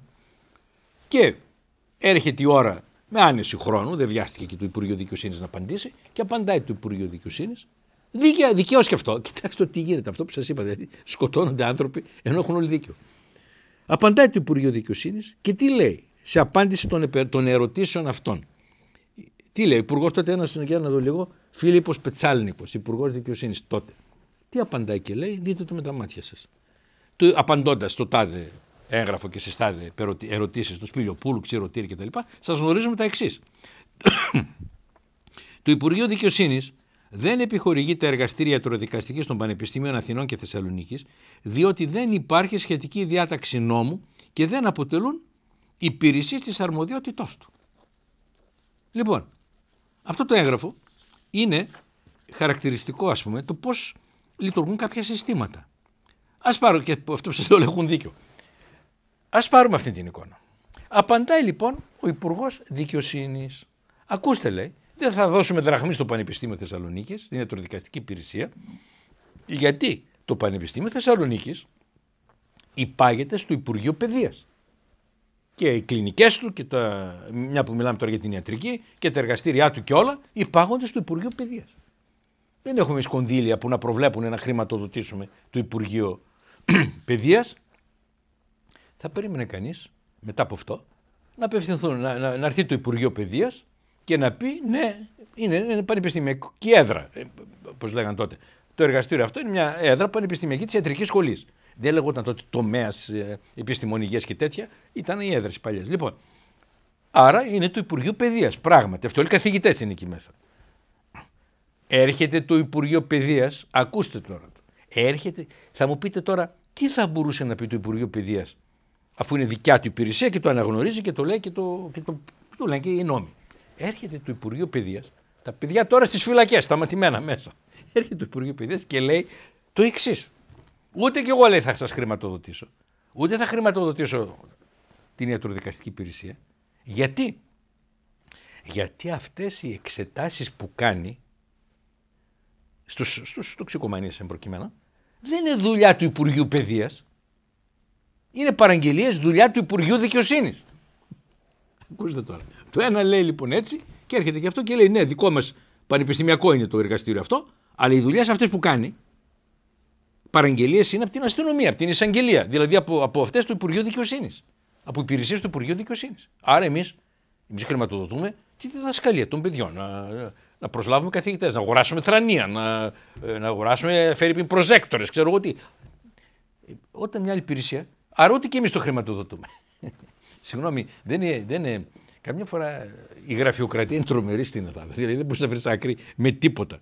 Ούτε και εμείς χρηματοδοτούμε. Και αρχίζει λοιπόν μια αλληλογραφία πια να βρεθεί ποιος πρέπει να χρηματοδοτήσει αυτά, αυτά τα αντιδραστήρια. Το οποίο είχα φτάσει στα 6,5 εκατομμύρια, ούτε θυμάμαι τώρα ένα κολοσσία ποσό. Μέχρι ένα σημείο σας είπα, καλύφθηκε από του ιατροδικαστέ. Αλλά και αυτοί δεν είναι ε, πάμπλουτοι. Μισθό, μισθό, βέβαια. Μισθό, τι είναι οι καθηγητές, με μεγάλους μισθούς, αλλά μέχρι εκεί δηλαδή δεν μπορούν και αυτοί να χρηματοδοτούν εξιδίων τόσο μεγάλες υπηρεσίες. Αρχίζει λοιπόν, δείτε την επόμενη εικόνα τώρα. Για να δούμε. Αρχίζει λοιπόν μια, ένας τεράστιος αγώνας μεταξύ των δύο Υπουργείων με αντικείμενο να αποδείξει το καθένα από αυτά ότι δεν είναι αρμόδιο για αυτό το πράγμα. Εδώ καταθέτει κάποιος. Και εδώ επειδή ούτε κατηγορούμενοι είναι, ούτε χρήστες ναρκωτικών, ούτε τίποτα, γι' αυτό και τα ονόματα είναι όπως είναι, είναι μέσα στα. Λοιπόν, Είμαι διευθυντής της Διεύθυνσης Διοίκησης και Ανάπτυξης Ανθρωπίνου Δυναμικού του Υπουργείου Δικαιοσύνης. Σχετικά με την τάδε τάδε παραγγελία σας γνωρίζω τα εξής. Στο Υπουργείο Δικαιοσύνης λοιπόν καταθέτει ο Διευθυντής γιατί δεν είναι αρμόδιο το Υπουργείο Δικαιοσύνης. Μάλιστα. Στην επόμενη εικόνα, στην επόμενη εικόνα, καταθέτει στην Αθήνα. Τώρα μιλάμε πάντα για το, για το Πανεπιστήμιο της Θεσσαλονίκης, αλλά είναι ένα γενικότερο θέμα. Είμαι Γενική Διευθύντρια Διοικητικής Υποστήριξης του Υπουργείου Δικαιοσύνης. Στην αρμοδιότητά μου υπάγεται η Διεύθυνση Διοίκησης κτλ. Αυτών των, των υπηρεσιών των ιατροδικαστικών. Λοιπόν, κοιτάξτε τώρα. Α πάρουμε την εικόνα. Ε, αυτό δεν θα σας τα δείξω διότι αυτό είναι μια κατάθεση μιας, δυο, τριών, τεσσάρων, πέντε, έξι, εφτά, οχτώ, εννιά, εννιάμιση σελίδων είναι μια κατάθεση 9,5 σελίδων της Γενικής Διευθύντριας του Υπουργείου όπου σε, χρησιμοποιεί 9,5 σελίδες για να αποδείξει ότι δεν είναι αρμόδιο το Υπουργείο.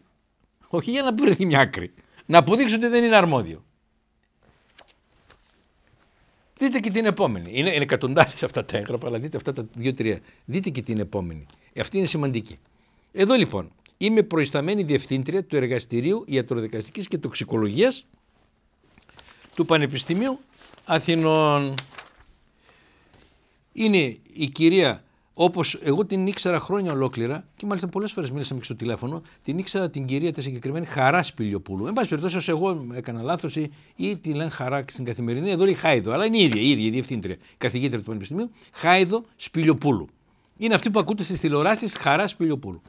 Είμαι προϊσταμένη διευθύντρια του Εργαστηρίου Ιατροδικαστικής και Τοξικολογίας του Πανεπιστημίου Αθηνών. Λοιπόν, και λέει, ας πάρουν πάλι την εικόνα, γιατί αυτά είναι πολύ σέλιδα, και λέει, εξηγεί η κυρία Σπηλιοπούλου σε αυτή την κατάθεση ότι ούτε το Πανεπιστήμιο Αθηνών μπορεί να κάνει τις εξετάσεις του Πανεπιστημίου Θεσσαλονίκης, γιατί ρίχτηκε τότε η ιδέα να φεύγουν τα δείγματα κάτω. Κάτω ήταν και αυτοί βουλιαγμένοι. Ακριβώς γιατί η χρηματοδότηση και εκεί ήταν προβληματική.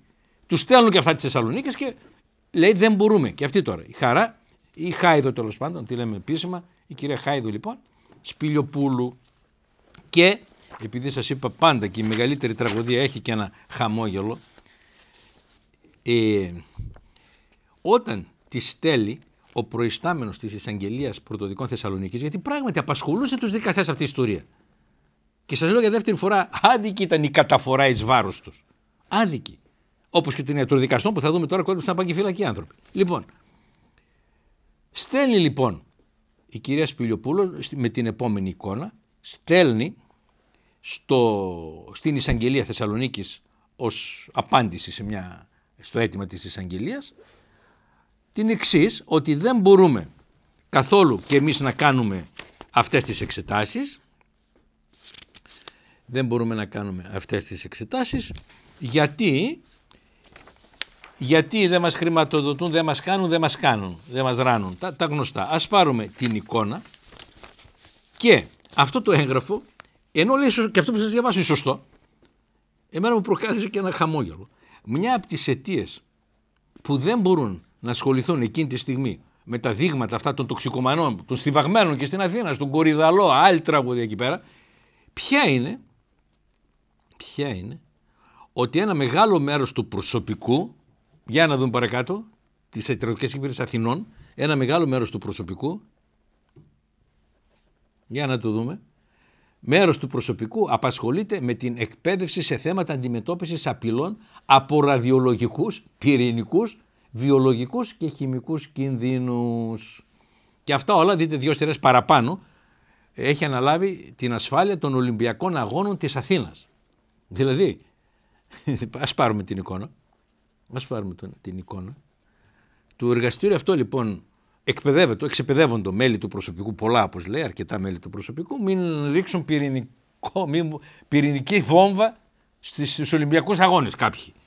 Έναντι πυρηνικών λοιπόν αυτό που εκπαιδευόταν το προσωπικό την ίδια ώρα που δεν υπήρχαν μηχανήματα και, και αυτό για να αναλύουν τα ούρα των τοξικομενών.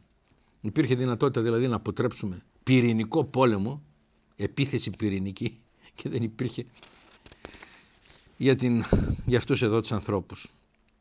Λοιπόν, και συνεχίζει και καταλήγει εκεί που σας είπα και προηγουμένως. Καταρχάς με συγχωρείτε, δεν, δεν, ας βάλουμε το τηλέφωνο, είναι το 729-219, γιατί δεν βλέπω να, να μην σας στερήσω και την επικοινωνία. Τελειώσουμε, δεν τελειώσουμε. Λοιπόν, ε, και συνεχίζεται αυτή η κατάσταση. Ας δούμε, όσο που να βάλουμε τα τηλέφωνα, ας δούμε λίγο την επόμενη εικόνα. Όπου, στην οποία εικόνα, ο καθηγητής του Πανεπιστημίου Θεσσαλονίκης, με έγγραφό του, σας γνωρίζουμε ότι από μία πρώτου του 2003 τα εδείγματα που προορίζονται για τοξικολογικές εξετάσεις με παραγγελίες αρμοδιότητας του Υπουργείου Δικαιοσύνης δεν θα εκτελούνται από το Εργαστήριο Ιατροδικαστικής και Τοξικολογίας λόγω ελλείψεως αντιδραστηρίων. Και συνεχίζεται το κακό, ο τεράστιος αριθμός αναβολών, οι καταδίκες πλέον σε, σε, για δείτε μάλλον δείτε απευθείας τι γίνεται στην κοινή γνώμη τώρα. Πώς περνάει αυτό προς τα έξω. Ας δούμε στην επόμενη εικόνα. Κόλαση ποινών για τους εξαρτημένους. Τους θάβουν στις φυλακές ενώ ενώ, δεν διαβάζω από μακριά τώρα εγώ, η οικογένεια, ναι, ενώ οι οικογένειές τους πληρώνουν αδρά το σύστημα αναστολών παύλα εφέσεων. Ναι, αναστολή εκτέλεσης που απορρίπτονταν πλέον όλα. Και μέναν τα παιδιά αυτά μονίμως μέσα στις φυλακές. Παρά το ότι, αυτό που σας είπα πριν, θα το δείτε τώρα και στους απλούς ανθρώπους, στους δημοσιογράφους, στους, στους απλούς πολίτες, δείτε το από εκεί πέρα, στην επόμενη, ο χρήστης λοιπόν είναι ασθενής και δεν είναι εγκληματίας. Και προσθέτω εγώ, προσθέτω εγώ και κάτι ακόμα που δεν θα το δείτε εκεί πέρα. Αλλά και αυτό πρέπει να έχει κανείς γνώση των φυλακών, πώς λειτουργούν οι φυλακές.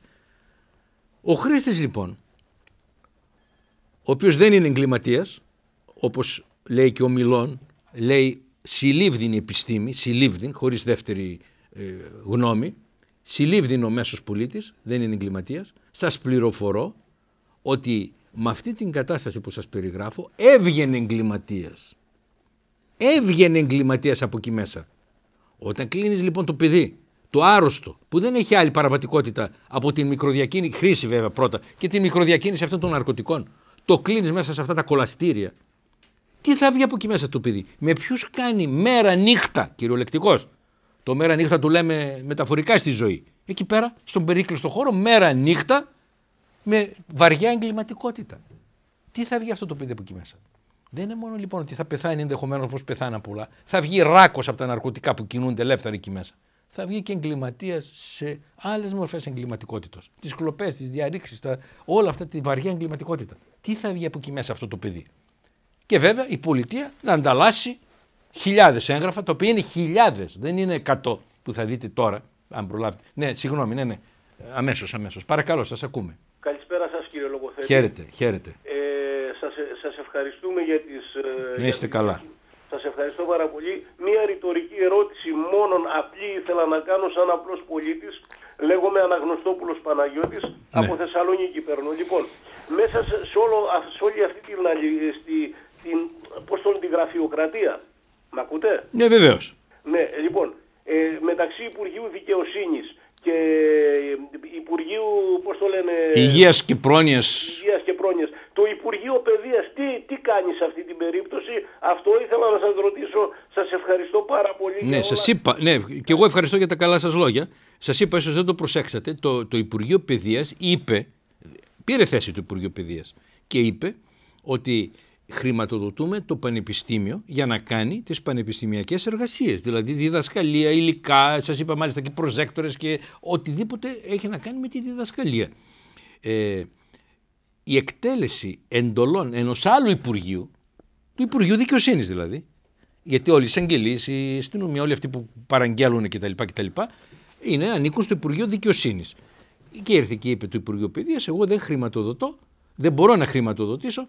Σας είπα εξ αρχή ένα παράξενο που συμβαίνει στην Ελλάδα. Καταλήγουμε σε τραγωδίες έχοντας όλοι δίκιο. Έχοντας όλοι δίκιο.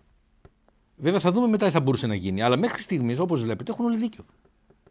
Δηλαδή, κανένας δεν βάζει το κεφάλι του κάτω, όχι μόνος του, γιατί αν το κάνει μόνος του δεν θα τον ακούσουν οι επόμενοι, οι άλλοι μάλλον. Δεν βάζουν όλοι μαζί το κεφάλι κάτω, θα δείτε όμως μετά, αν προλάβουμε, να βρουν όλοι μαζί λύση. Ναι, ωραία δίκαιο έχει το Υπουργείο Δικαιοσύνης. Ναι, ωραία δίκαιο έχει το Υπουργείο Παιδείας. Με τα δύο δίκαια αυτά όμως καταλήγουμε σε άτοπο. Και θα θυμάστε ίσως από τα γυμνασιακά σας χρόνια, χρόνια ότι πολλά προβλήματα στα μαθηματικά λυνόταν γιατί τη άτοπο απαγωγή. Ωραία. Βλέπεις δύο σωστές τυπικά απόψεις καταλήγουν σε τραγωδία. Θυμάστε θα ξέρετε στην ιατρική, δύο πολύ καλά φάρμακα που το καθένα μπορεί να είναι φάρμακο εκλογής για μια πάθηση. Πολύ καλά το καθένα μόνο του. Αν τα βάλεις και τα δύο μαζί, Μπορεί να πεθάνω τον άνθρωπο. Είναι η λεγόμενη συνέργεια φαρμάκων. Εδώ φαίνεται. Υπάρχει κάτι παρόμοιο. Ε, θα δούμε, θα δούμε, γιατί θα προλάβουμε να το πούμε στο τέλος. Για να συνεχίσουμε λίγο αυτό που λέγαμε. Α δούμε λίγο, τι, μάλλον να παραλείψουμε τώρα, αν, αν δεν κάνω λάθος, είναι δύο-τρία κείμενα έτσι, σαν κείμενα. Για να δούμε την επόμενη, από, από, άλλη, από άλλη αυτή. Α, ναι, αυτό είναι σωστό. Για να δούμε λίγο. Όταν κλείνονται φυλακοί, οι φυλακισμένοι. Λοιπόν, οι απεξαρτημένοι, συγγνώμη. Εδώ είναι ένα άρθρο, πράγματι.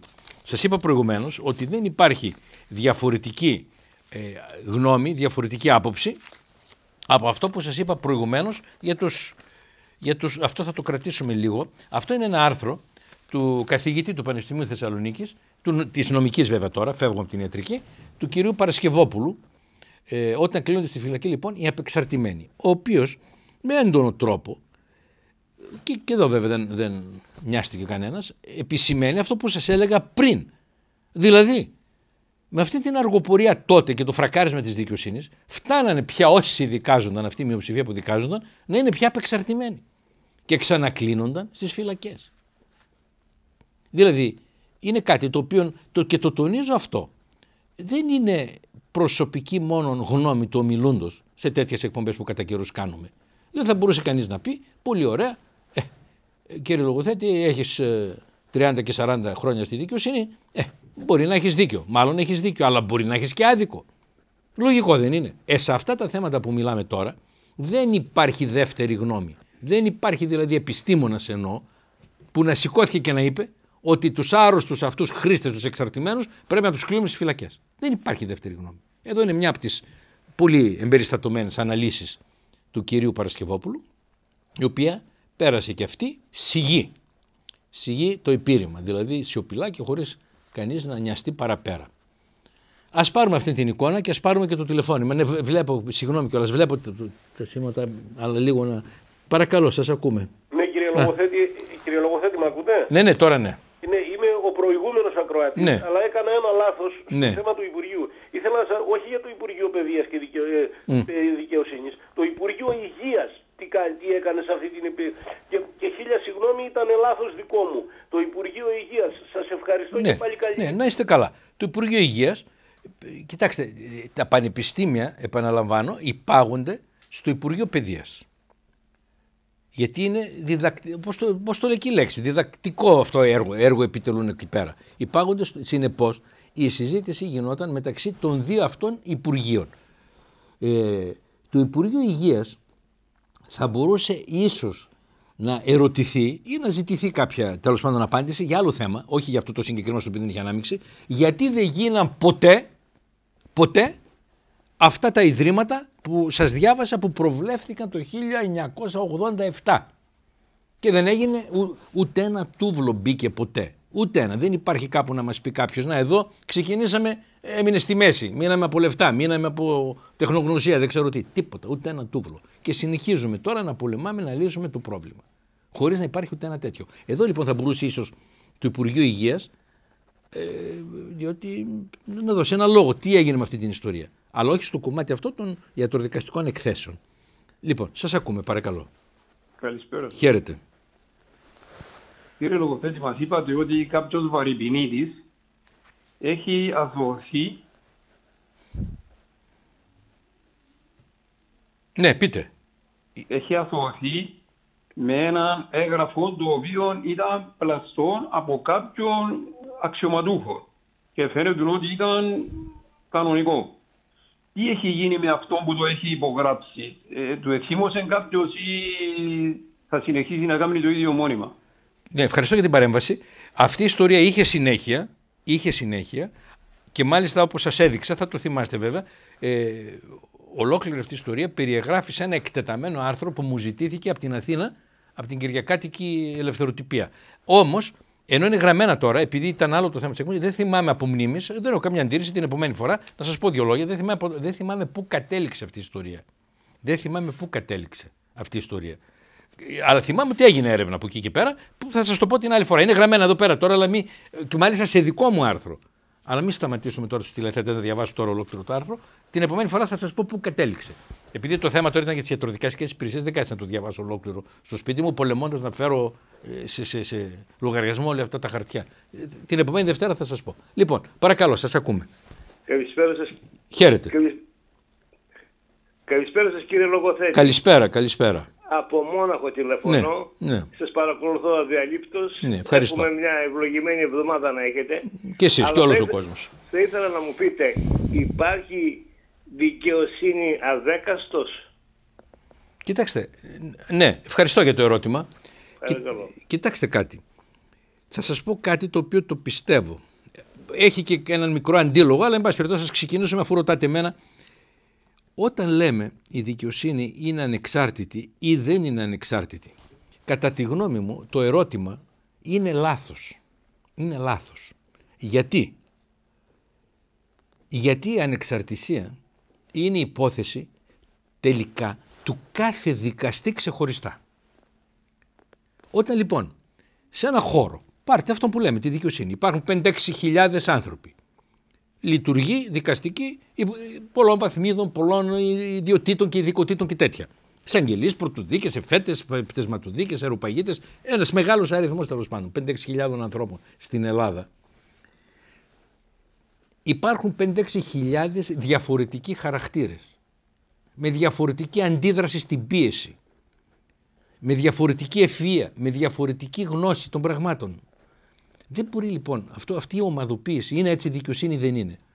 Είδατε πολλές φορές, και για να το πούμε μόνο αυτό είναι τεράστιο θέμα και αυτό, είδατε πολλές φορές δικαστές να σηκώνουν κεφάλι εκεί που έπρεπε, να συγκρούνται με οργανωμένα συμφέροντα ανεξαρτήτως του αποτελέσματος. Είδατε επίσης, γιατί εγώ σας είπα ποτέ δεν θα κρυφτώ πίσω από το δάχτυλό μου. Είδατε επίσης δικαστές να συμφωνούν με επιλογές οι οποίες είναι προφανώς άδικες, γιατί έρχονται από ψηλά, από την, από την ε, κα- εκάστοτε πολιτεία, πολιτική αυτή να πούμε κτλ. Δεν μπορώ λοιπόν εγώ να σας πω η δικαιοσύνη είναι αδέκαστη ή δεν είναι, με αυτά τα κλισέ. Γιατί το να είναι κανείς πάρα πολλά χρόνια σε ένα χώρο, ένα δευτερόλεπτο μόνο. Καταλαβαίνω τι γίνεται, το βλέπω και στις, ε, σε αυτές τις ενδείξεις. Ένα δευτερόλεπτο. Το να είναι κανείς πάρα πολλά χρόνια σε ένα χώρο έχει το πλεονέκτημα της εμπειρίας.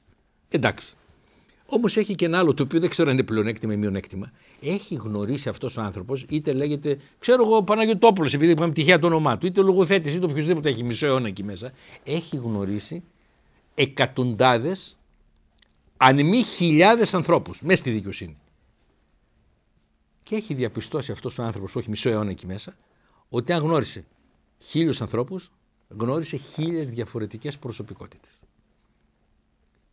Αν λοιπόν κανείς αφήσει στην πάντα τα φτηνά κλισέ, πιστεύω ότι είναι αδέκαστη δικαιοσύνη. Το άλλο κλισέ. Είναι διεφθαρμένη δικαιοσύνη. Αυτά τα λένε άνθρωποι που δεν ξέρουν πώς δουλεύει αυτό το σύστημα από μέσα. Αν λοιπόν ένας ξέρει, θα πει δεν μπορώ να σας πω. Γιατί βλέπω και της μιας ιδιότητος πρόσωπα και της άλλης. Αυτό έχει βέβαια ένα άλλο τώρα μειονέκτημα μεγάλο, αλλά είναι τόσο. Εγώ δεν έχω καμία αντίρρηση. Είδατε, ε, μάλιστα παρεκάλεσα και τους τηλεθεατές να περιμένουν λίγο για έστω και μια σύντομη απάντηση. Εγώ δεν έχω ούτε φόβο ούτε τίποτα να σας απαντώ ειλικρινά.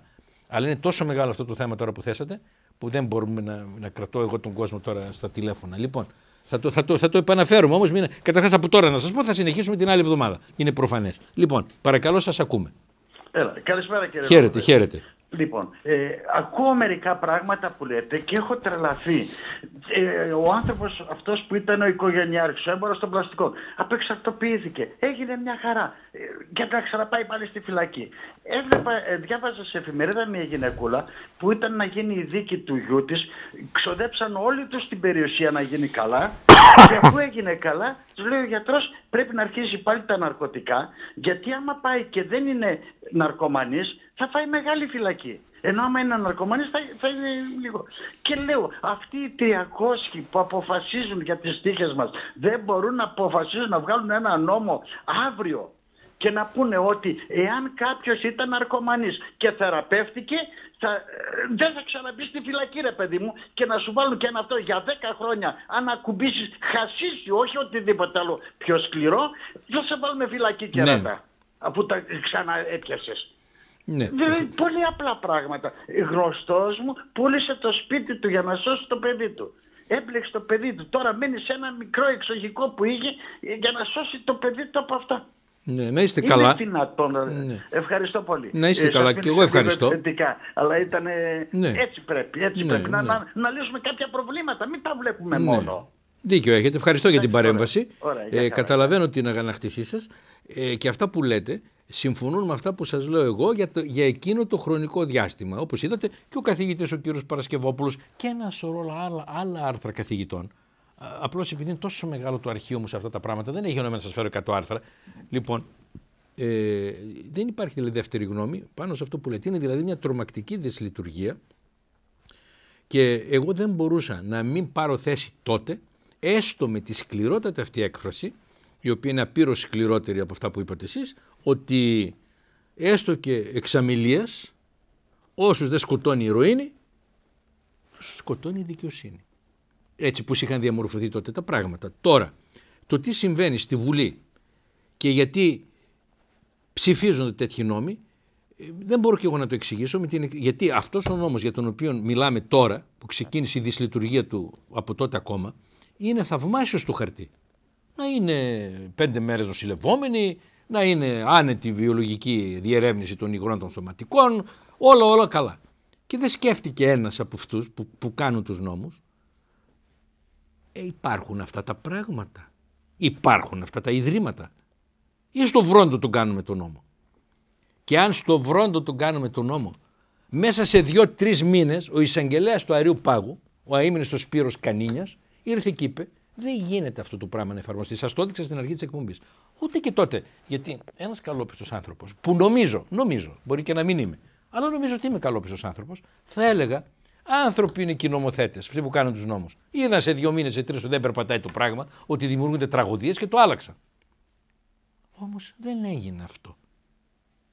Δεν έγινε αυτό. Διότι σας είπα, πάρα πολλοί άνθρωποι πήραν θέση. Δεν είναι μόνο αυτά που έχω εγώ πιο πρόχειρα, τους καθηγητές και, του, και τους εισαγγελείς και τα δικά μου, το δικό μου το αρχείο και τέτοια. Εκατοντάδες άνθρωποι πήραν θέση. Οι μόνοι που δεν πήραν θέση ήταν οι νομοθέτες. Αυτοί που φτιάχνουν τους νόμους. Δεν μπορώ να, όμως δεν μπορώ, δηλώνω αδυναμία, δεν μπορώ να ερμηνεύσω ε, άλλες υπηρεσίες και άλλες λειτουργίες του κράτους. Μπορώ ό,τι θέλετε να σας πω για τη δικαιοσύνη που είμαι μέσα εκεί πολλά χρόνια. Τι κάνει η Βουλή και γιατί το έκανε έτσι, δεν μπορώ, δεν ξέρω. Λοιπόν, παρακαλώ, σας ακούμε. Ναι, καλησπέρα και λογοθέτη. Χαίρετε, χαίρετε. Ε, θυμάμαι εκείνη την περίοδο και θυμάμαι ότι η ατμόσφαιρα για τη δικαιοσύνη Θεσσαλονίκης ήταν αρκετά βαριά και αν θυμάμαι καλά έχει στείλει ο Άριος Πάγος κάποιον ε, αεροπαγίτη, τον, αν θυμάμαι καλά το όνομα Ανδρέας Φλούδας Ναι, και μου δημιουργήθηκε εντύπωση ότι εστάλει εδώ προκειμένου να ελέγξει δικαστικές αποφάσεις προκειμένου να διενεργήσει ελέγχους, Ναι. προκειμένου να επιπλήξει δικαστικούς με κακές ε, αποφάσεις αν θέλετε. Ναι. Αν θέλετε κάποιο σχόλιο. ναι, θα σας πω. Ευχαριστώ για την παρέμβαση. Πολύ καλά θυμάστε, πολύ καλά θυμάστε και ίσως δεν προσέξατε ένα τμήμα, δίλεπτο ίσως, της εκπομπής αυτής. Προς Θεού δεν εννοώ ότι πρέπει να είστε και βιδωμένος δύο ώρες, αλλά ίσως χάσατε ένα μικρό τμήμα εκεί που σας είπα ότι έγινε αυτός ο έλεγχος και εξαιτίας αυτού του ελέγχου ε, προκλήθηκε ένα κύμα φόβου γιατί; Γιατί ελέγχθηκαν ή προσπάθησαν να ελέγξουν εκατοντάδες αποφάσεις. Πώς; Καλώντας τους δικαστές έναν έναν να δίνει εξηγήσεις γιατί αποφάσισε έτσι πριν ένα χρόνο, πριν δύο χρόνια, πριν έξι μήνες. Έτσι εκεί βγαίνουν αποφάσεις καθημερινά.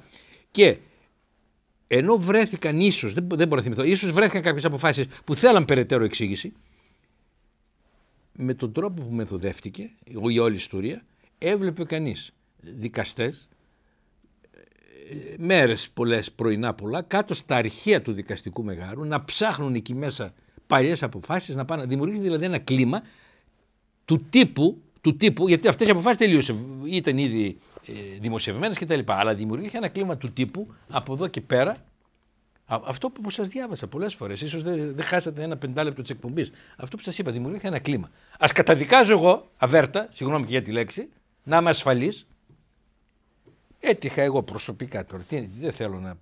Τέλος πάντων, έτυχα εγώ προσωπικά σε, σε, σε δικασίμους που ήταν δικάσιμοι αναστολών, με 60 υποθέσεις, επειδή είναι αναστολές, γρήγορα γίνονται, βάζουν πολλές. Αυτό είναι σωστό.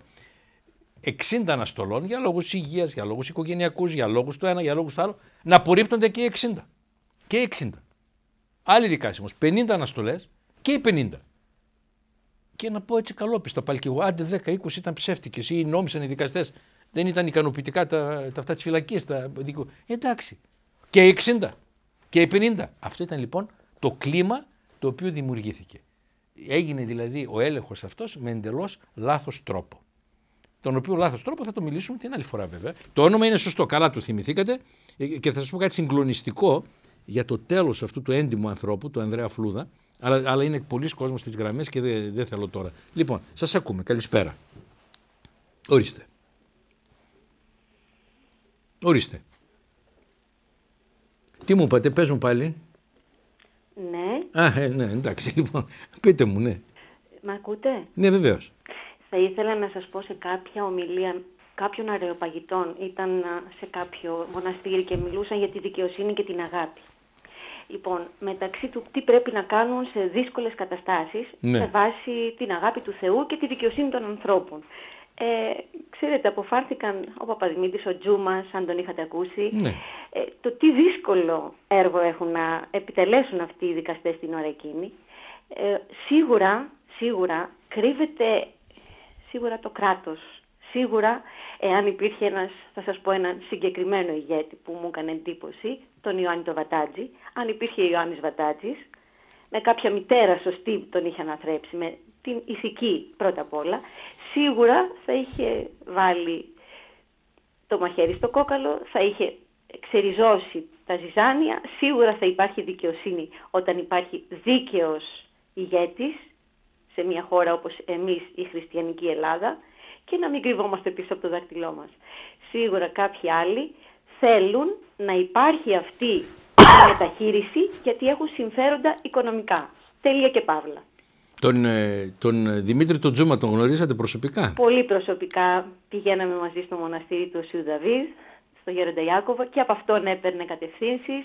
Μας έλεγε ότι γονάτιζε στο ιερό βήμα μέσα μαζί του, ενώ εξομολογιόταν και του έλεγε το πώς πρέπει να φέρεται ακριβώς με αγάπη μεν, αλλά και με φόβο Θεού. Και με δικαιοσύνη Ναι. Και πάνω για, απ' να, όλα. και για να καταλάβουν και οι τηλεθεατές όμως ίσως, δεν είπατε ότι ο Δημήτρης ο Τζούμας και τον αναφέρατε ήταν ανώτατος δικαστικός. Αρεοπαγίτης, όχι προσανώτατος. Ε, και αυτή- άφησε, αυτή- αυτή είναι η άφησε τον ανώτατη. Άριο Πάγο, παράτησε Και- τον Άριο Πάγο το μισθό τον μεγάλο. Και γίνεται ο κληρικός. Και γίνεται κληρικός και ήταν μέρα νύχτας στις φυλακές.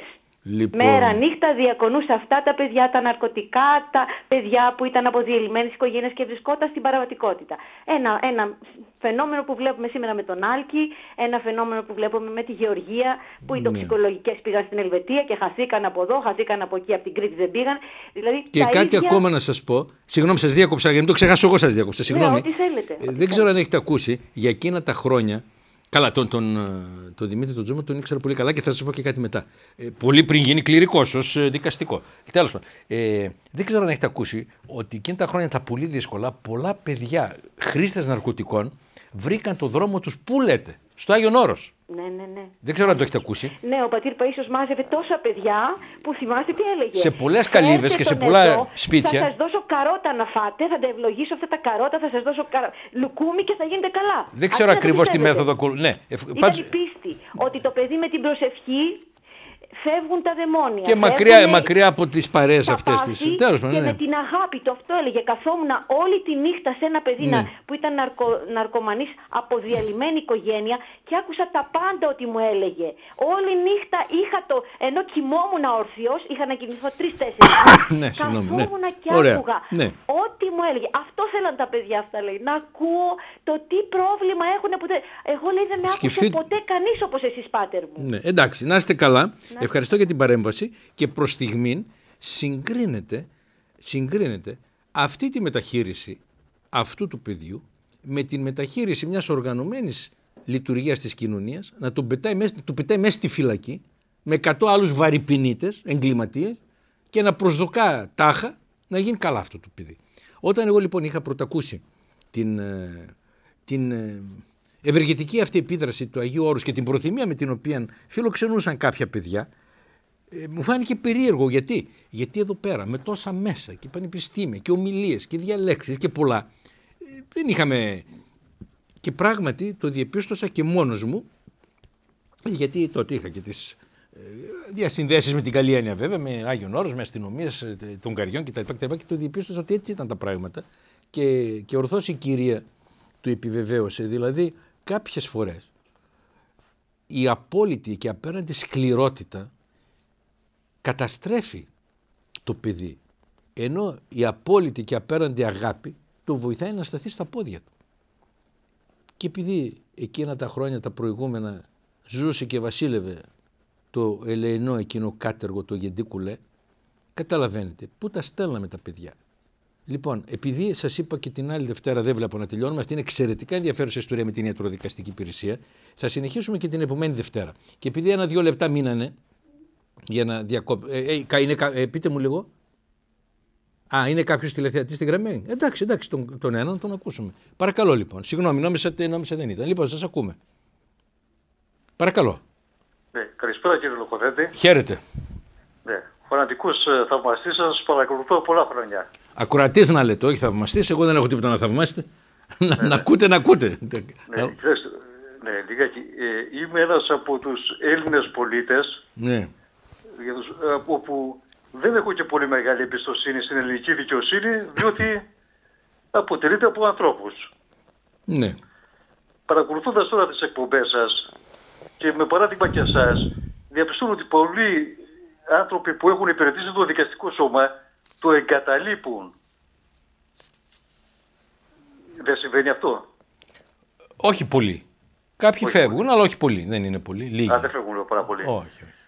Γιατί φοβάμαι ότι μήπως αυτοί που μένουν δεν είναι και τόσο ικανοί για αυτό το σώμα και φεύγουν οι άνθρωποι σε αυτό, σε αυτό θα μου επιτρέψετε, ενώ θα είχα κάθε λόγο να λέω τα αντίθετα γιατί εγώ είμαι από αυτούς που έφυγαν. Αλλά επειδή μου αρέσει η ειλικρίνεια, δεν είναι έτσι που τα λέτε. Πολλοί, ε, κάποιοι λίγοι φύγανε διότι συγκρούστηκαν με τοπικά, με ιστορίες μεγάλες, όπως και ο Μιλών.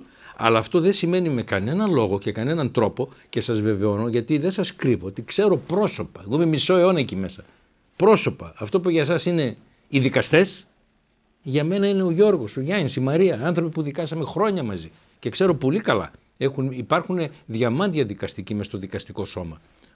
Απλώς είναι τελείως άλλο το πρόβλημα.